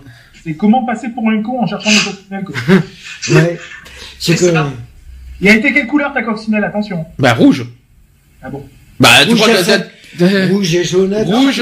Euh, T'as- des coccinelles qui, euh, au lieu qu'elles sont pas rouges, mais elles sont oranges. Oui, elles sont Ah. rangées. ouais. Mais c'est les rouges qu'il faut, c'est pas les oranges. Les rouges Les rouges, ouais. Il m'entend bien pour dire que quand je dis des conneries, mais bon. Alors en- euh, à l'inverse maintenant, j'ai les portes, on a les portes malheurs. Alors je vais, euh, ça va, je vais pas répéter ce que j'ai dit tout à l'heure parce qu'il y en a beaucoup qui euh, qui, euh, qui reviennent. euh, mettre le pain à l'envers. Est-ce que pour vous ça porte malheur? Non. Alors les fameux les fameux trucs à table, les euh, les couteaux croisés sur une table. Je le fais tout le temps, ça fait rien. Ok. Est-ce que se lever du pied gauche porte malheur? Bah, en fait, en main, en ce moment, j'ai un peu de mal, donc, euh... Personnellement, euh, Moi, c'est Ouais. toujours le pied droit qui arrive avant, donc euh, je sais pas. Ouais, moi c'est pareil. Moi, je- je- quand on dort à droite, tu, tu vas pas te lever à si gauche. je me Hein. lève- Moi, si je me lève du pied gauche, euh, personnellement. Bah si tu dors à droite, tu te lèves pas du pied gauche. Et si tu te lèves sur la béquille, t'es dans la merde. Ah ouais, ça c'est sûr. Euh, ou alors, alors perdre ou briser son alliance. Ah, ça par contre, ça- ça- il y en a deux qui, qui savent ça. Euh, Il y en a deux qui peuvent le dire. Deux. Bah, perdre ou briser son alliance. Il y en a deux qui sont concernés là. Bah, Lionel est concerné, toi t'as été concerné, t'as perdu ton alliance aussi. Moi, Ouais, personnellement, j'ai pas perdu mon il y a, alliance. il y a eu de. C'est quoi a- que t'avais perdu euh, Lionel? Ah non, c'était pas le, c'était pas une alliance. C'est ma gourmette. C'était Gaëtan Gourmet, voilà, exact. Moi, Mais euh, personnellement, il n'y a pas eu vraiment de malheur. Euh... alors toi, euh, perdre une alliance, c'était où ça? Au plan d'eau, je crois. Je sais plus. où est- Non, Non, Non, c'était à côté de Valence. ouais, c'était. c'était euh, à, à Champos. Ouais, c'est ça. Alors toi, t'avais fait fort quand même hein, là-dessus. Est-ce que ça porte malheur pour autant Tiens donc? Personnellement, j'ai pas. Apparemment non. Tiens, ouais, comme eh ben, ça tombe très bien. On est bien parti, on est bien euh, placé pour le pour euh, pour en témoigner. Bah personnellement, moi je dis que non. Alors, offrir des mouchoirs. Vous savez, vous savez que ça porte malheur? Bah, il y a une pub en ce moment pour Kleenex qui les offre. Mais non, mais c'est parce qu'ils en ont marre de, de faire pleuvoir et du Ah, coup de faire pleurer les gens. stock, Il faut éliminer. C'est parce qu'ils font pleurer les gens, c'est normal avec les prix trop chers. Alors attends, coup- ça dépend, parce que offrir des mouchoirs, oui, mais de quelle couleur? Ouais. Les verres à la menthe. Oh bah là, t'es sur d'éternuer là, euh, mais à fond là. Oui, c'est. Ouais, vaut mieux les offrir dans un théâtre à ce compte-là. hein. Autre porte malheur, c'est poser un chapeau sur un lit. Déjà, il faut avoir un chapeau. Oui, bah alors. Déjà du. Ça, par contre, j'en Ça ai plein au tu boulot qui m'ont dit. déjà avoir un lit, alors. Par contre, j'en ai plein qui m'ont dit que euh, au boulot qui m'ont dit que c'est vrai de poser un chapeau sur le sur le lit, ça portait malheur. Ah, ça, Lionel, c'est pour toi. Ah oui. Trinquer sans regarder dans les yeux de l'autre. Ah putain, quel c'est manque de respect, j'aime pas ça. Alors, explique-moi pourquoi, s'il C'est te un plaît. manque de respect. C'est tout. Alors pour moi, c'est un manque de respect parce que, euh, bah, et je sais pas. Après, moi, j'ai toujours été habitué comme ça à, à, à chiner avec euh, les yeux dans À les chiner. yeux. donc. La Chine, c'est... Je chine, tu chines, nous chinons. Nous chinons, vous vous chinez. Non, mais à trinquer, j'ai toujours été habitué à trinquer en regardant dans les yeux, donc. euh, Alors et, pourquoi euh, ça, Depuis tout petit, c'est comme ça, donc euh, je sais pas. c'est, une superstition qu'on t'a appris ou c'est pas, ou c'est un his- vraiment une histoire de marque, une, une marque de Non, respect pour, pour, pour moi, voilà, quand euh, on m'a toujours dit que, euh, voilà, quand tu traînes, c'est toujours dans les yeux, quoi. C'est. Alors j'ai dit, si tu veux prendre mon verre dans ta gueule, faut le dire. voilà, quoi. Non, mais je sais pas, j'ai tout, j'ai tout, depuis tout gamin, j'ai toujours fonctionné comme ça. Quoi. D'accord. Ouais, après voilà, on sait pas forcément. Encore porte malheur. Alors là, il y a des trucs vraiment, vraiment bizarres, ce que je vais vous dire. Déjà, être très à table. Ouais, bof. Déjà, il faut être, déjà, il faut arriver à être à très à table. Bah, faut déjà y arriver parce que c'est pas déjà forcé trois que tu y arrives. Ça, euh, 13, il faut y arriver, hein, je vous le dis. hein. P- euh, ensuite, prendre un bain après le repas. Et quand on n'a pas de bain et qu'on a une douche, on fait comment C'est pareil. On prend pas de douche. Ça porte malheur, ça? Apparemment, oui. Apparemment, Ouais, ça bien porte sûr, malheur. T'as raison. Ça porte malheur. Et péter dans le bain, ça porte Et malheur. être intelligent, ça les, c'est. euh, Alors, porter un vêtement vert lors d'une représentation sur une scène, je vous l'ai dit pourquoi. C'est au, Ouais. ah, c'est au sujet de, Molière de Molière. hmm. Euh, ensuite, euh, mettre deux baguettes bien droites dans un bol. Déjà, il faut le faire, ça. hein. Si t'arrives à mettre deux baguettes droites, non, mais imaginez. à moins qu'elles soient collées dans le bol. Déjà, il faut mettre deux baguettes bien droites dans un bol. Deux, en plus. Faut être tarte pour faire ça, hein, si je peux me permettre. Je vois, je vois pas la- l'intérêt en fait. Non, mais ça, c'est pour les Chinois. Alors après, qui c'est qui boit plus de cinq fois? À table. Est-ce qu'il y en a un de vous qui peut boire plus de cinq fois? Non. Même de l'eau? Ah, mais que ce soit de l'eau ou autre chose. euh, Ah, là, ça Ah non, dépend. trois verres, c'est Ça dépend de la suffisant. couleur de l'eau. Parce que sachez que boire à table plus de 5 fois, ça porte malheur. Bon, bah, ça va. Alors, je suis pas concerné. Non plus. Passer le balai, passer le balai la nuit dans sa maison. Bon, déjà, balayer la nuit, euh, Si. Bah normalement la nuit c'est fait pour dormir. c'est déjà d'une, hein, euh, faut le faire, hein. Sachez aussi que poser des chaussures sur la table porte, porte malheur. Ouais. Déjà, quelle idée de, po- de poser des chaussures sur une table, d'abord, premièrement. Non mais attends, quand tu alors ça veut dire que quand tu viens d'acheter une paire de chaussures, pour enlever les étiquettes, t'es bien obligé de la poser sur la table. Mhm. Alors ça te porte déjà malheur? Non mais Bah, pas moi. hein. excuse-moi du peu, mais moi je le Moi, fais comme à chaque les fois. euh, étiquettes, les chaussures, elles sont sur moi. Non, moi je les ai- je les enlève directement dans les magasins, c'est plus simple. Alors, les mariages. On va voir si Lionel a, a, a- a quasi euh, fait tout ce qu'il fallait pour le mariage. Porter quelque chose de neuf pour attirer la chance. C'est fait. Porter, Vieux aussi. porter quelque chose de vieux pour rappeler à la mariée sa vie d'avant. Ça, c'est pas fait, par contre. Vous portez du vieux. euh, à part mes calbars, euh, c'est tout. Je t'en prie. Des vieux calbars. Bah, s'il te plaît. Non, mais propre, hein, quand même. Hein. Oh. Hein? Ils, se- ils sont propres, mes caleçons. hein, C'est mais- quoi Des fleurs ou des nounours qu'il y a dessus? Non, ils sont unis, parce que Ah. j'aime pas les motifs. Ah mince. Porter quelque chose d'emprunté pour marquer la confiance et l'amitié. Oui, ça oui. Porter quelque chose de bleu pour garantir la fidélité entre époux. Je crois que les alliances, il n'y a, pas eu du bleu dans les alliances quelque part? Euh, C'était les, les, les bagues de fiançailles. Je crois que c'était ça. Oui, mais tu les avais, vous les avez portés Ah alors. oui, elles- bah oui, oui, moi je les avais. Donc c'est ce qui me semblait. hein. Après, parmi les superstitions les plus courantes, jeter du riz sur les mariés à la sortie de l'église, car ce rituel, forcément lié à la, cré- à, à la chrétienté, est réalisé pour que les nouveaux mariés aient une longue descendance et une bonne fertilité. Eh Et, oui. au fil des ans, le riz a été remplacé par des bulles de savon, des confettis de couleur ou des pétales de rose. Du moment que c'est pas remplacé par des tomates, tout va bien parce que... Non, mais tu sais pourquoi au départ c'est que c'est connerie, je viens de penser à un truc. C'est qu'en fin de compte, ils jetaient du riz simplement pour faire des couscous à l'avance. du riz, du riz, des couscous. Parce que toi, tu fais du couscous avec du Tu riz. fais du couscous avec du riz. Alors là, je dois applaudir. là. Et un cuisinier qui dit qu'il qui fait du couscous avec du riz, j'applaudis à demain parce que franchement, euh, Mais non, c'est pour c'est pour dire aux mariés, ben c'est vous qui payez votre paella. La, la tradition voulait du riz, pourquoi? Pour payer- pour faire la paella. durait longtemps, mhm. et que quand tu sortais de l'église, t'avais vachement faim, donc on te jetait du riz. sauf que toi t'as pas fait les riz, t'as fait les confettis, je crois, Lionel. Ouais, hein, euh, c'était les confettis. Je me Et souviens ça encore. ferait une paella aussi. Donc euh, voilà. Tu fais une paella. Alors, autre chose parmi les superstitions, l'époux ne doit pas voir la robe de la future mariée. Bah, moi, j'ai pas vu mon mari. Sauf que, oh non, menteur. Oh non, vous Menteur. étiez à 2 cm les uns de l'autre. Alors, oh, tu veux la photo ou ça ira, Lionel Ah, ben, je l'ai pas, je l'ai pas vu, euh, je l'ai pas vu, euh, comment dire, quand il a eu sa tenue. Ah si, Euh, ah si, t'as vu la tenue avant le mariage, si. en- encore j'ai vu sa tenue, parce que sinon il mettait, euh, je sais pas quoi, mais il mettait quelque chose qui était pas beau, de toute façon. Euh, Mais comment dire, quand euh, le jour du mariage, on s'est habillés chacun de notre côté. Ok. Alors après, la cravate du marié doit être droite. Yes. Et puis celle du, de l'autre mariée, elle doit être et si- gau- euh, à gauche. Et si jamais c'est tordu, tu sais ce qu'on dit? Bah, que ton mariage est foutu. Non, que, t'as- que, c'est- que ça sera un mari infidèle. D'accord. Bah, non, moi, elle était bien droite, donc ça va. Donc ça va alors, heureusement. La mariée ne doit pas porter de perles. Il en avait pas. Non, mais encore heureusement. Alors celle-ci représente les larmes qu'elle qu'elle pourrait verser tout le long de son mariage. Voilà. Ouais. Alors les boucles d'oreilles en perles, c'est proscrit. 40 km de long, t'as compris, quoi. Exactement, punaise, oui. Ça c'est clair. Ça c'est clair. Je suis arrivé. Est-ce, et sachant, alors ça par contre ça n'a pas été fait, le cortège doit être bruyant. Ah si, moi, il était bruyant. C'est quoi par rapport au, ah tu veux dire par rapport au klaxon? Ah bah oui. Alors, explication, c'est que dans de nombreux pays, euh, on fait un cortège derrière les mariés de, de la sortie de l'église jusqu'au lieu de réception. Et au cours de ce cortège, il faut que les klaxons s'excitent, que les applaudissements retentissent et que les invités fassent du bruit. Le mauvais sort et les esprits et les mauvais esprits se dissiperont ainsi. Il n'y a pas eu tout, par contre, parce que les applaudissements, on les a pas eu. Euh, les klaxons, oui. Les invités qui font du bruit, Bah oui, quand ils étaient bourrés une fois qu'ils étaient bourrés. Oui, plutôt oui, parce que je pense, oui, mais Ça, c'était- c'est sûr, c'est une fois mais- qu'ils sont bourrés. mais c'était pas pendant le cortège, par contre. Ah bah si c'était bourré pendant le cortège, euh, bonjour.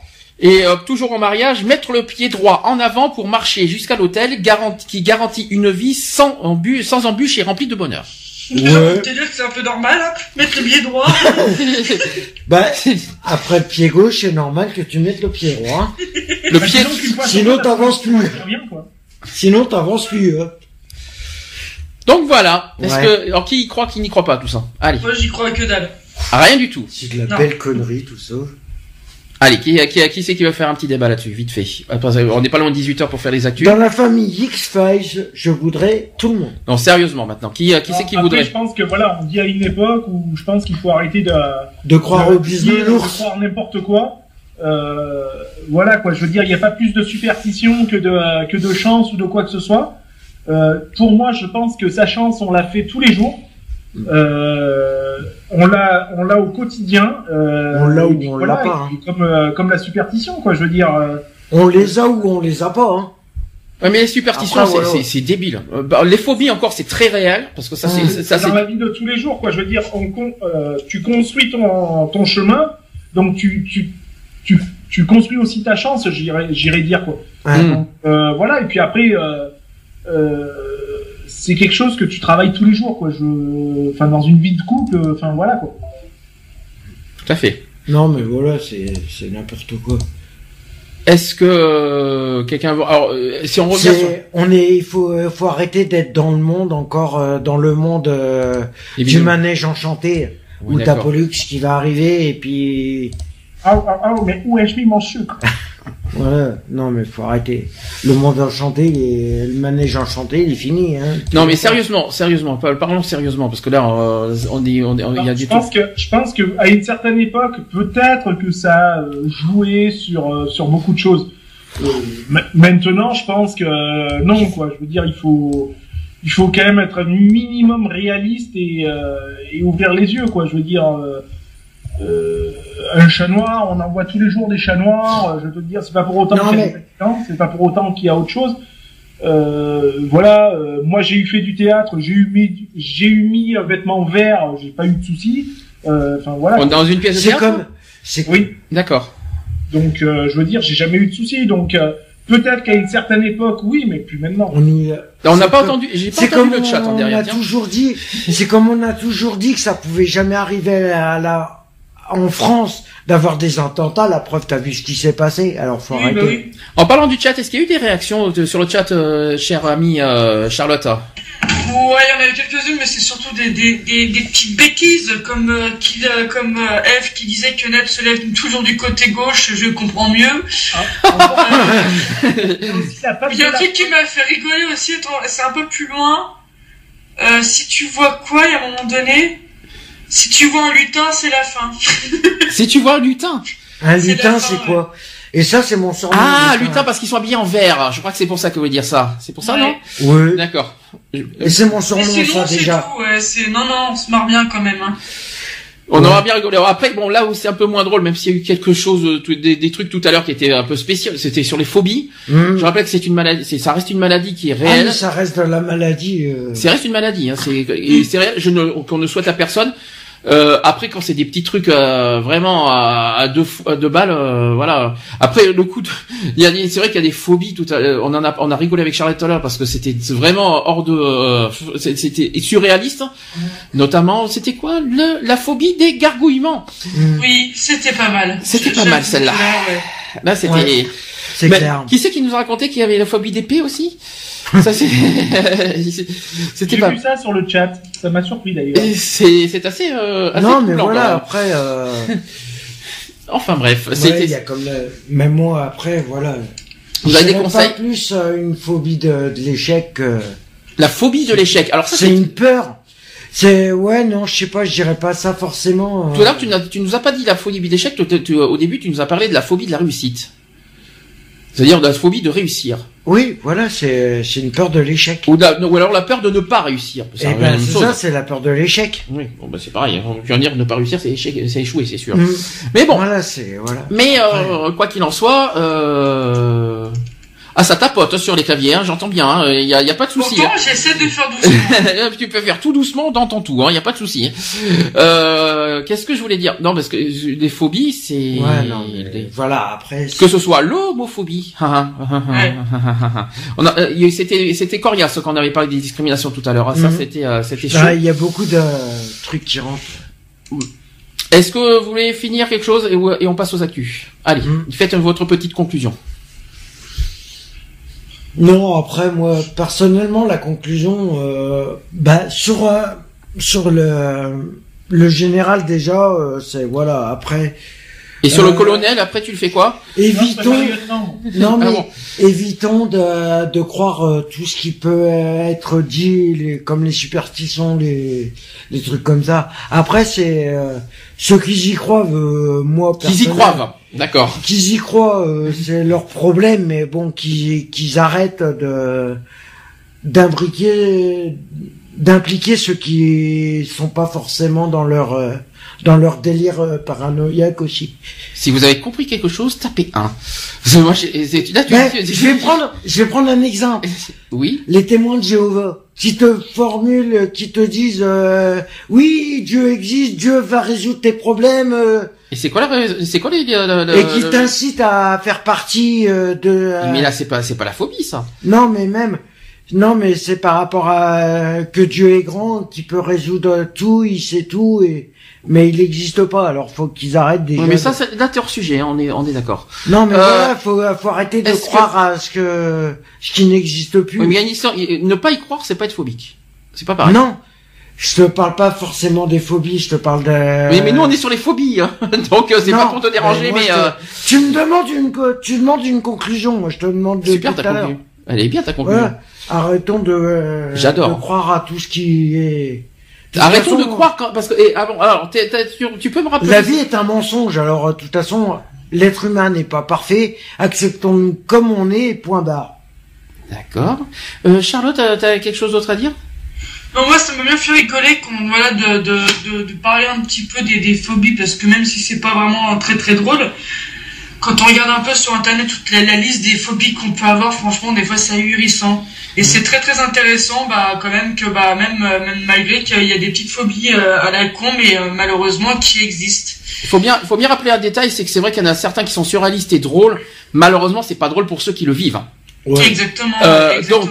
Donc, donc le problème, c'est, on a beaucoup rigolé parce que c'est vrai, il faut pas, faut pas nous en vouloir. C'est vrai que c'est, ça, ça, ça paraît tellement, ça paraît tellement gros si vous préférez certaines phobies que que c'est euh, voilà c'est marrant on, on, va pas on va pas le cacher on va pas non plus euh, c'est pas du tout pour se moquer ou bah voilà c'est pas c'est la phobie qui est marrante voilà, c'est la phobie qui est marrante c'est pas ce qui le vit qui est marrant c'est ça qui est différent c'est que sur le coup au moment où on les a dit c'est vrai que c'était euh, Est-ce que Lionel a, dit, a quelque chose? Alors je sais qu'il a raté le début de l'émission, mais c'est pas grave. Il, il, il, il essaiera quand il, il, va faire du mal qu'il peut. Revenir sur les phobies, oui, c'est pas évident de, déjà de vivre avec, euh, parce qu'il y en a beaucoup qui malheureusement en jouent et euh, c'est pas forcément une partie de plaisir pour le pour la personne qui, qui est phobique, quoi. Donc euh, voilà. Quoi. Ah, c'est intéressant ce que tu dis. Ça, on l'a jamais dit. Comment ça, les, les personnes en jouent? Ah, il y en a qui en euh, profitent. moi, personnellement, je vois. Bon, euh, je sais faire la différence entre du sérieux et de la rigolade. Euh, moi, il y en a beaucoup. comme dernière, fut un temps, mon homme me taquinait un petit peu avec ça aussi. Avec les araignées, tu vas dire? Voilà, avec les araignées. bon, voilà. Mais après, quand je suis vraiment face à une araignée de bon euh, je peux te garantir que lui, par contre, il a pas rigolé. Quoi. Je crois que je crois que c'est un peu ce que Charlotte a dit au début. Si je me trompe pas, Charlotte, ce que tu as dit. Tu avais dit qu'il y en a certains qui, il y en a. Euh, rappelle-moi ce que tu euh, se moquer, ouais, mais pas dans le sens là. C'est qu'on nous prend pour des de, dégénérés en quelque sorte. Mmh. Ouais, c'est ça. Euh, on nous prend. C'est-à-dire qu'il y a certaines personnes qui rigolent, mais qui te prennent aussi pour des demeurés en quelque sorte mmh. avec cette avec quand quand tu supportes des phobies. mais quand on le vit c'est difficile. Et puis, certes, euh, ce que je comprends pas, c'est pourquoi, pourquoi les gens s'en moquent, alors que eux-mêmes, ils ont quelque part certaines phobies qui existent. On va pas me faire croire que personne, euh, que des gens ont zéro phobie, ça, j'y crois pas. Mais de toute façon, l'homme est euh, imparfait, automatiquement. On, a tous peur de quelque chose, quoi qu'il en soit. Euh, on a tous une peur, une phobie, telle qu'elle soit. Euh, maintenant, il y a des, il y a des personnes qui sont plus réticentes à, à ça que d'autres, quoi. Je veux dire, euh, moi, je vois euh, par rapport à ma, à ma phobie, euh, ben, si je sais qu'il y a, je vais pas être tranquille, quoi. C'est ce qu'on appelle, les gens qui sont ça, la peur de la peur. Mmh. C'est ça qu'on appelle. Ça existe ça. hein. Mais ils La- ont peur de d'être D'avoir de, peur. de, La peur d'avoir peur. Alors ça c'est ça c'est pas notamment pour ceux qui Ouais. voient les handicapés. Rappelez- Rappelez-vous, on en a parlé la dernière fois, qui ont Ouais. peur de, de, de, de- les, les gens qui, refoulent les ouais. handicapés, c'est qu'ils ont peur de, justement de se retrouver handicapés. C'est ridicule, hein. Notamment sur les maladies mentales. Ah mais euh, ils s'imaginent que les maladies mentales ça, ça se ça, se contamine. comme Pas un du tout. Le Non, sida mais- c'est pareil, tout ce qui est sérophobie, on l'a pas dit Ah ça oui. aussi, on l'a Ah, pas dit la tout à l'heure. sérophobie, Les oui. sérophobies, c'est c'est- c'est la peur d'attraper le sida. Ouais. Euh, Il faut arrêter un petit peu les conneries. Non, En fait, les gens ont peur de. re- En fait, euh, si je comprends bien, il y en a qui sont phobiques, on va dire, euh, qui ne qui n'ont pas vécu, mais ils ont peur de, en fait, d'attraper la phobie des autres. C'est ridicule. C'est tellement ridicule que. Et la phobie de la stupidité, ils l'ont Non, j'ai par contre la phobie de la connerie, je voudrais bien, Oui. mais euh, il y, a, y a pas de Parce souci. qu'il y en a beaucoup qui l'ont, hein. Donc voilà. Non, mais c'est, par contre, ce que je suis en train de vous dire, c'est que ça existe. Il y a des gens qui ont peur, euh, qui ont peur, en fait, de d'attraper la phobie des autres. Ben, ils ont la phobie de l'intelligence surtout. Ah bah putain, j'aimerais bien avoir l'intelligence, je vous le dis. Hein. Non, mais, Mais, la euh, phobie de l'intelligence. Ben non. Ils ont peur d'être intelligents. Ah bah putain, euh, le, le- qu'ils- le jour que quelqu'un d'être choper intelligent, euh, je, euh, il a, il a un problème. Hein, je, je vous le dis. Hein, euh, Non, mais voilà, s'il a peur de, de, Par contre, si la, pho- la phobie de quelqu'un s'attrape euh, comme ça. Enfin, euh, par contre, c'est, c'est vrai. virus, Non, mais- Par contre, on, on rassure tout le monde, la phobie n'est pas contagieuse. non c'est sûr. Non, c'est sûr. Non, parce qu'on on ne sait jamais s'il y a des personnes qui ont, euh, qui, qui là dedans, euh, c'est comme l'hom- l'homosexualité, ça s'attrape pas. Hein.